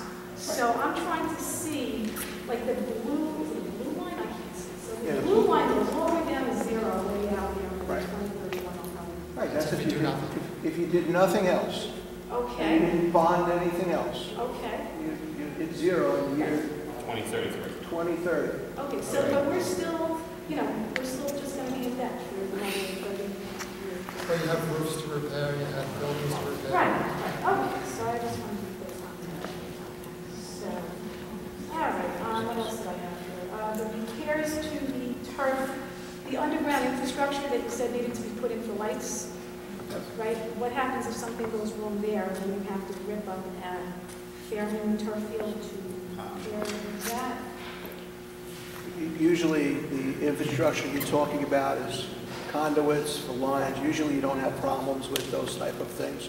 Okay. Um, But in the event you did, you did have a issue, you have to take care of it. Um, It's very different. You have to open up a section or a piece of something, then rip up half of the turf field to get a conduit across to the other side. But that's still gonna add on to the cost. Excuse me? That, that's still gonna add to, for repairs, so you're gonna have to repair your conduit, God forbid something happens. Let's hope the architecture doesn't go down the center of the Well, field. Just going around Can I just speak to that? Just curious, yeah. I think a big problem, um, I don't know if it's residual from last year or not, is trust in the process. Um, If we look at the last two bonds, again, that came in under budget, and we were actually able to do more than we initially planned to bond, and you look at our bond rating from Moody's, the projects in the past have been managed well. Not that you don't want to plan for contingencies, not that, listen, things could go wrong, but again, we're working with an architecture firm that we've had a relationship with for, for a very long time. Um, When you look across the island at these projects, these things are not happening, and they're, they're not happening on a large scale. So again, I think it's good to, to talk about, okay, maybe what if, but I fear that that might tend to dominate the conversation, and, and the reality is very different from the what ifs. Well, I work for the state, and we currently got a big load. Oh, no, the state is a- Of steel from China. Yeah, no, I'm, I'm trying, I'm just focusing on, I'm trying to focus on the Right, gotcha. Okay, um, my other question, as far as, uh, the, um, you're renting out the third floor here? When- No, not yet. Not yet, but the air Process, conditioning. it's process, yes. Your tenants and whatnot. Do we still own the library? Like, Is that right now? No. We don't. We sold it, okay, all right, so that's why the facility on Tyler, the old one? The old library is No, sold. the old facility on Tyler. We still Yes, we still We're in own the process of selling. Okay, all right, just curious. And uh, are we getting any other rebates for energy efficiency besides the savings we're recouping? So basically, if I put solar panels on my house, I get a rebate. Is that? It depends. I can tell you something interesting that that happened with the District Ave East. Okay. We received one point eight million dollars rebate from either PSE&G or LIPA. The state took the money. They didn't want to directly take it, all they did was drop their state aid. So now the state is taking a very close look at all these rebate checks. And the state has taken money from District Ave East, and actually Roosevelt had some, some similar work done as well, but the state didn't change their rate. So it's, it's interesting, so there, there is some controversy right there. I- Frankly, I don't think the state should take improvements that we make, because they are asking for efficiencies, and when you make, the- get the efficiencies, you really be able to pass it on to the taxpayer, not reduce your state aid for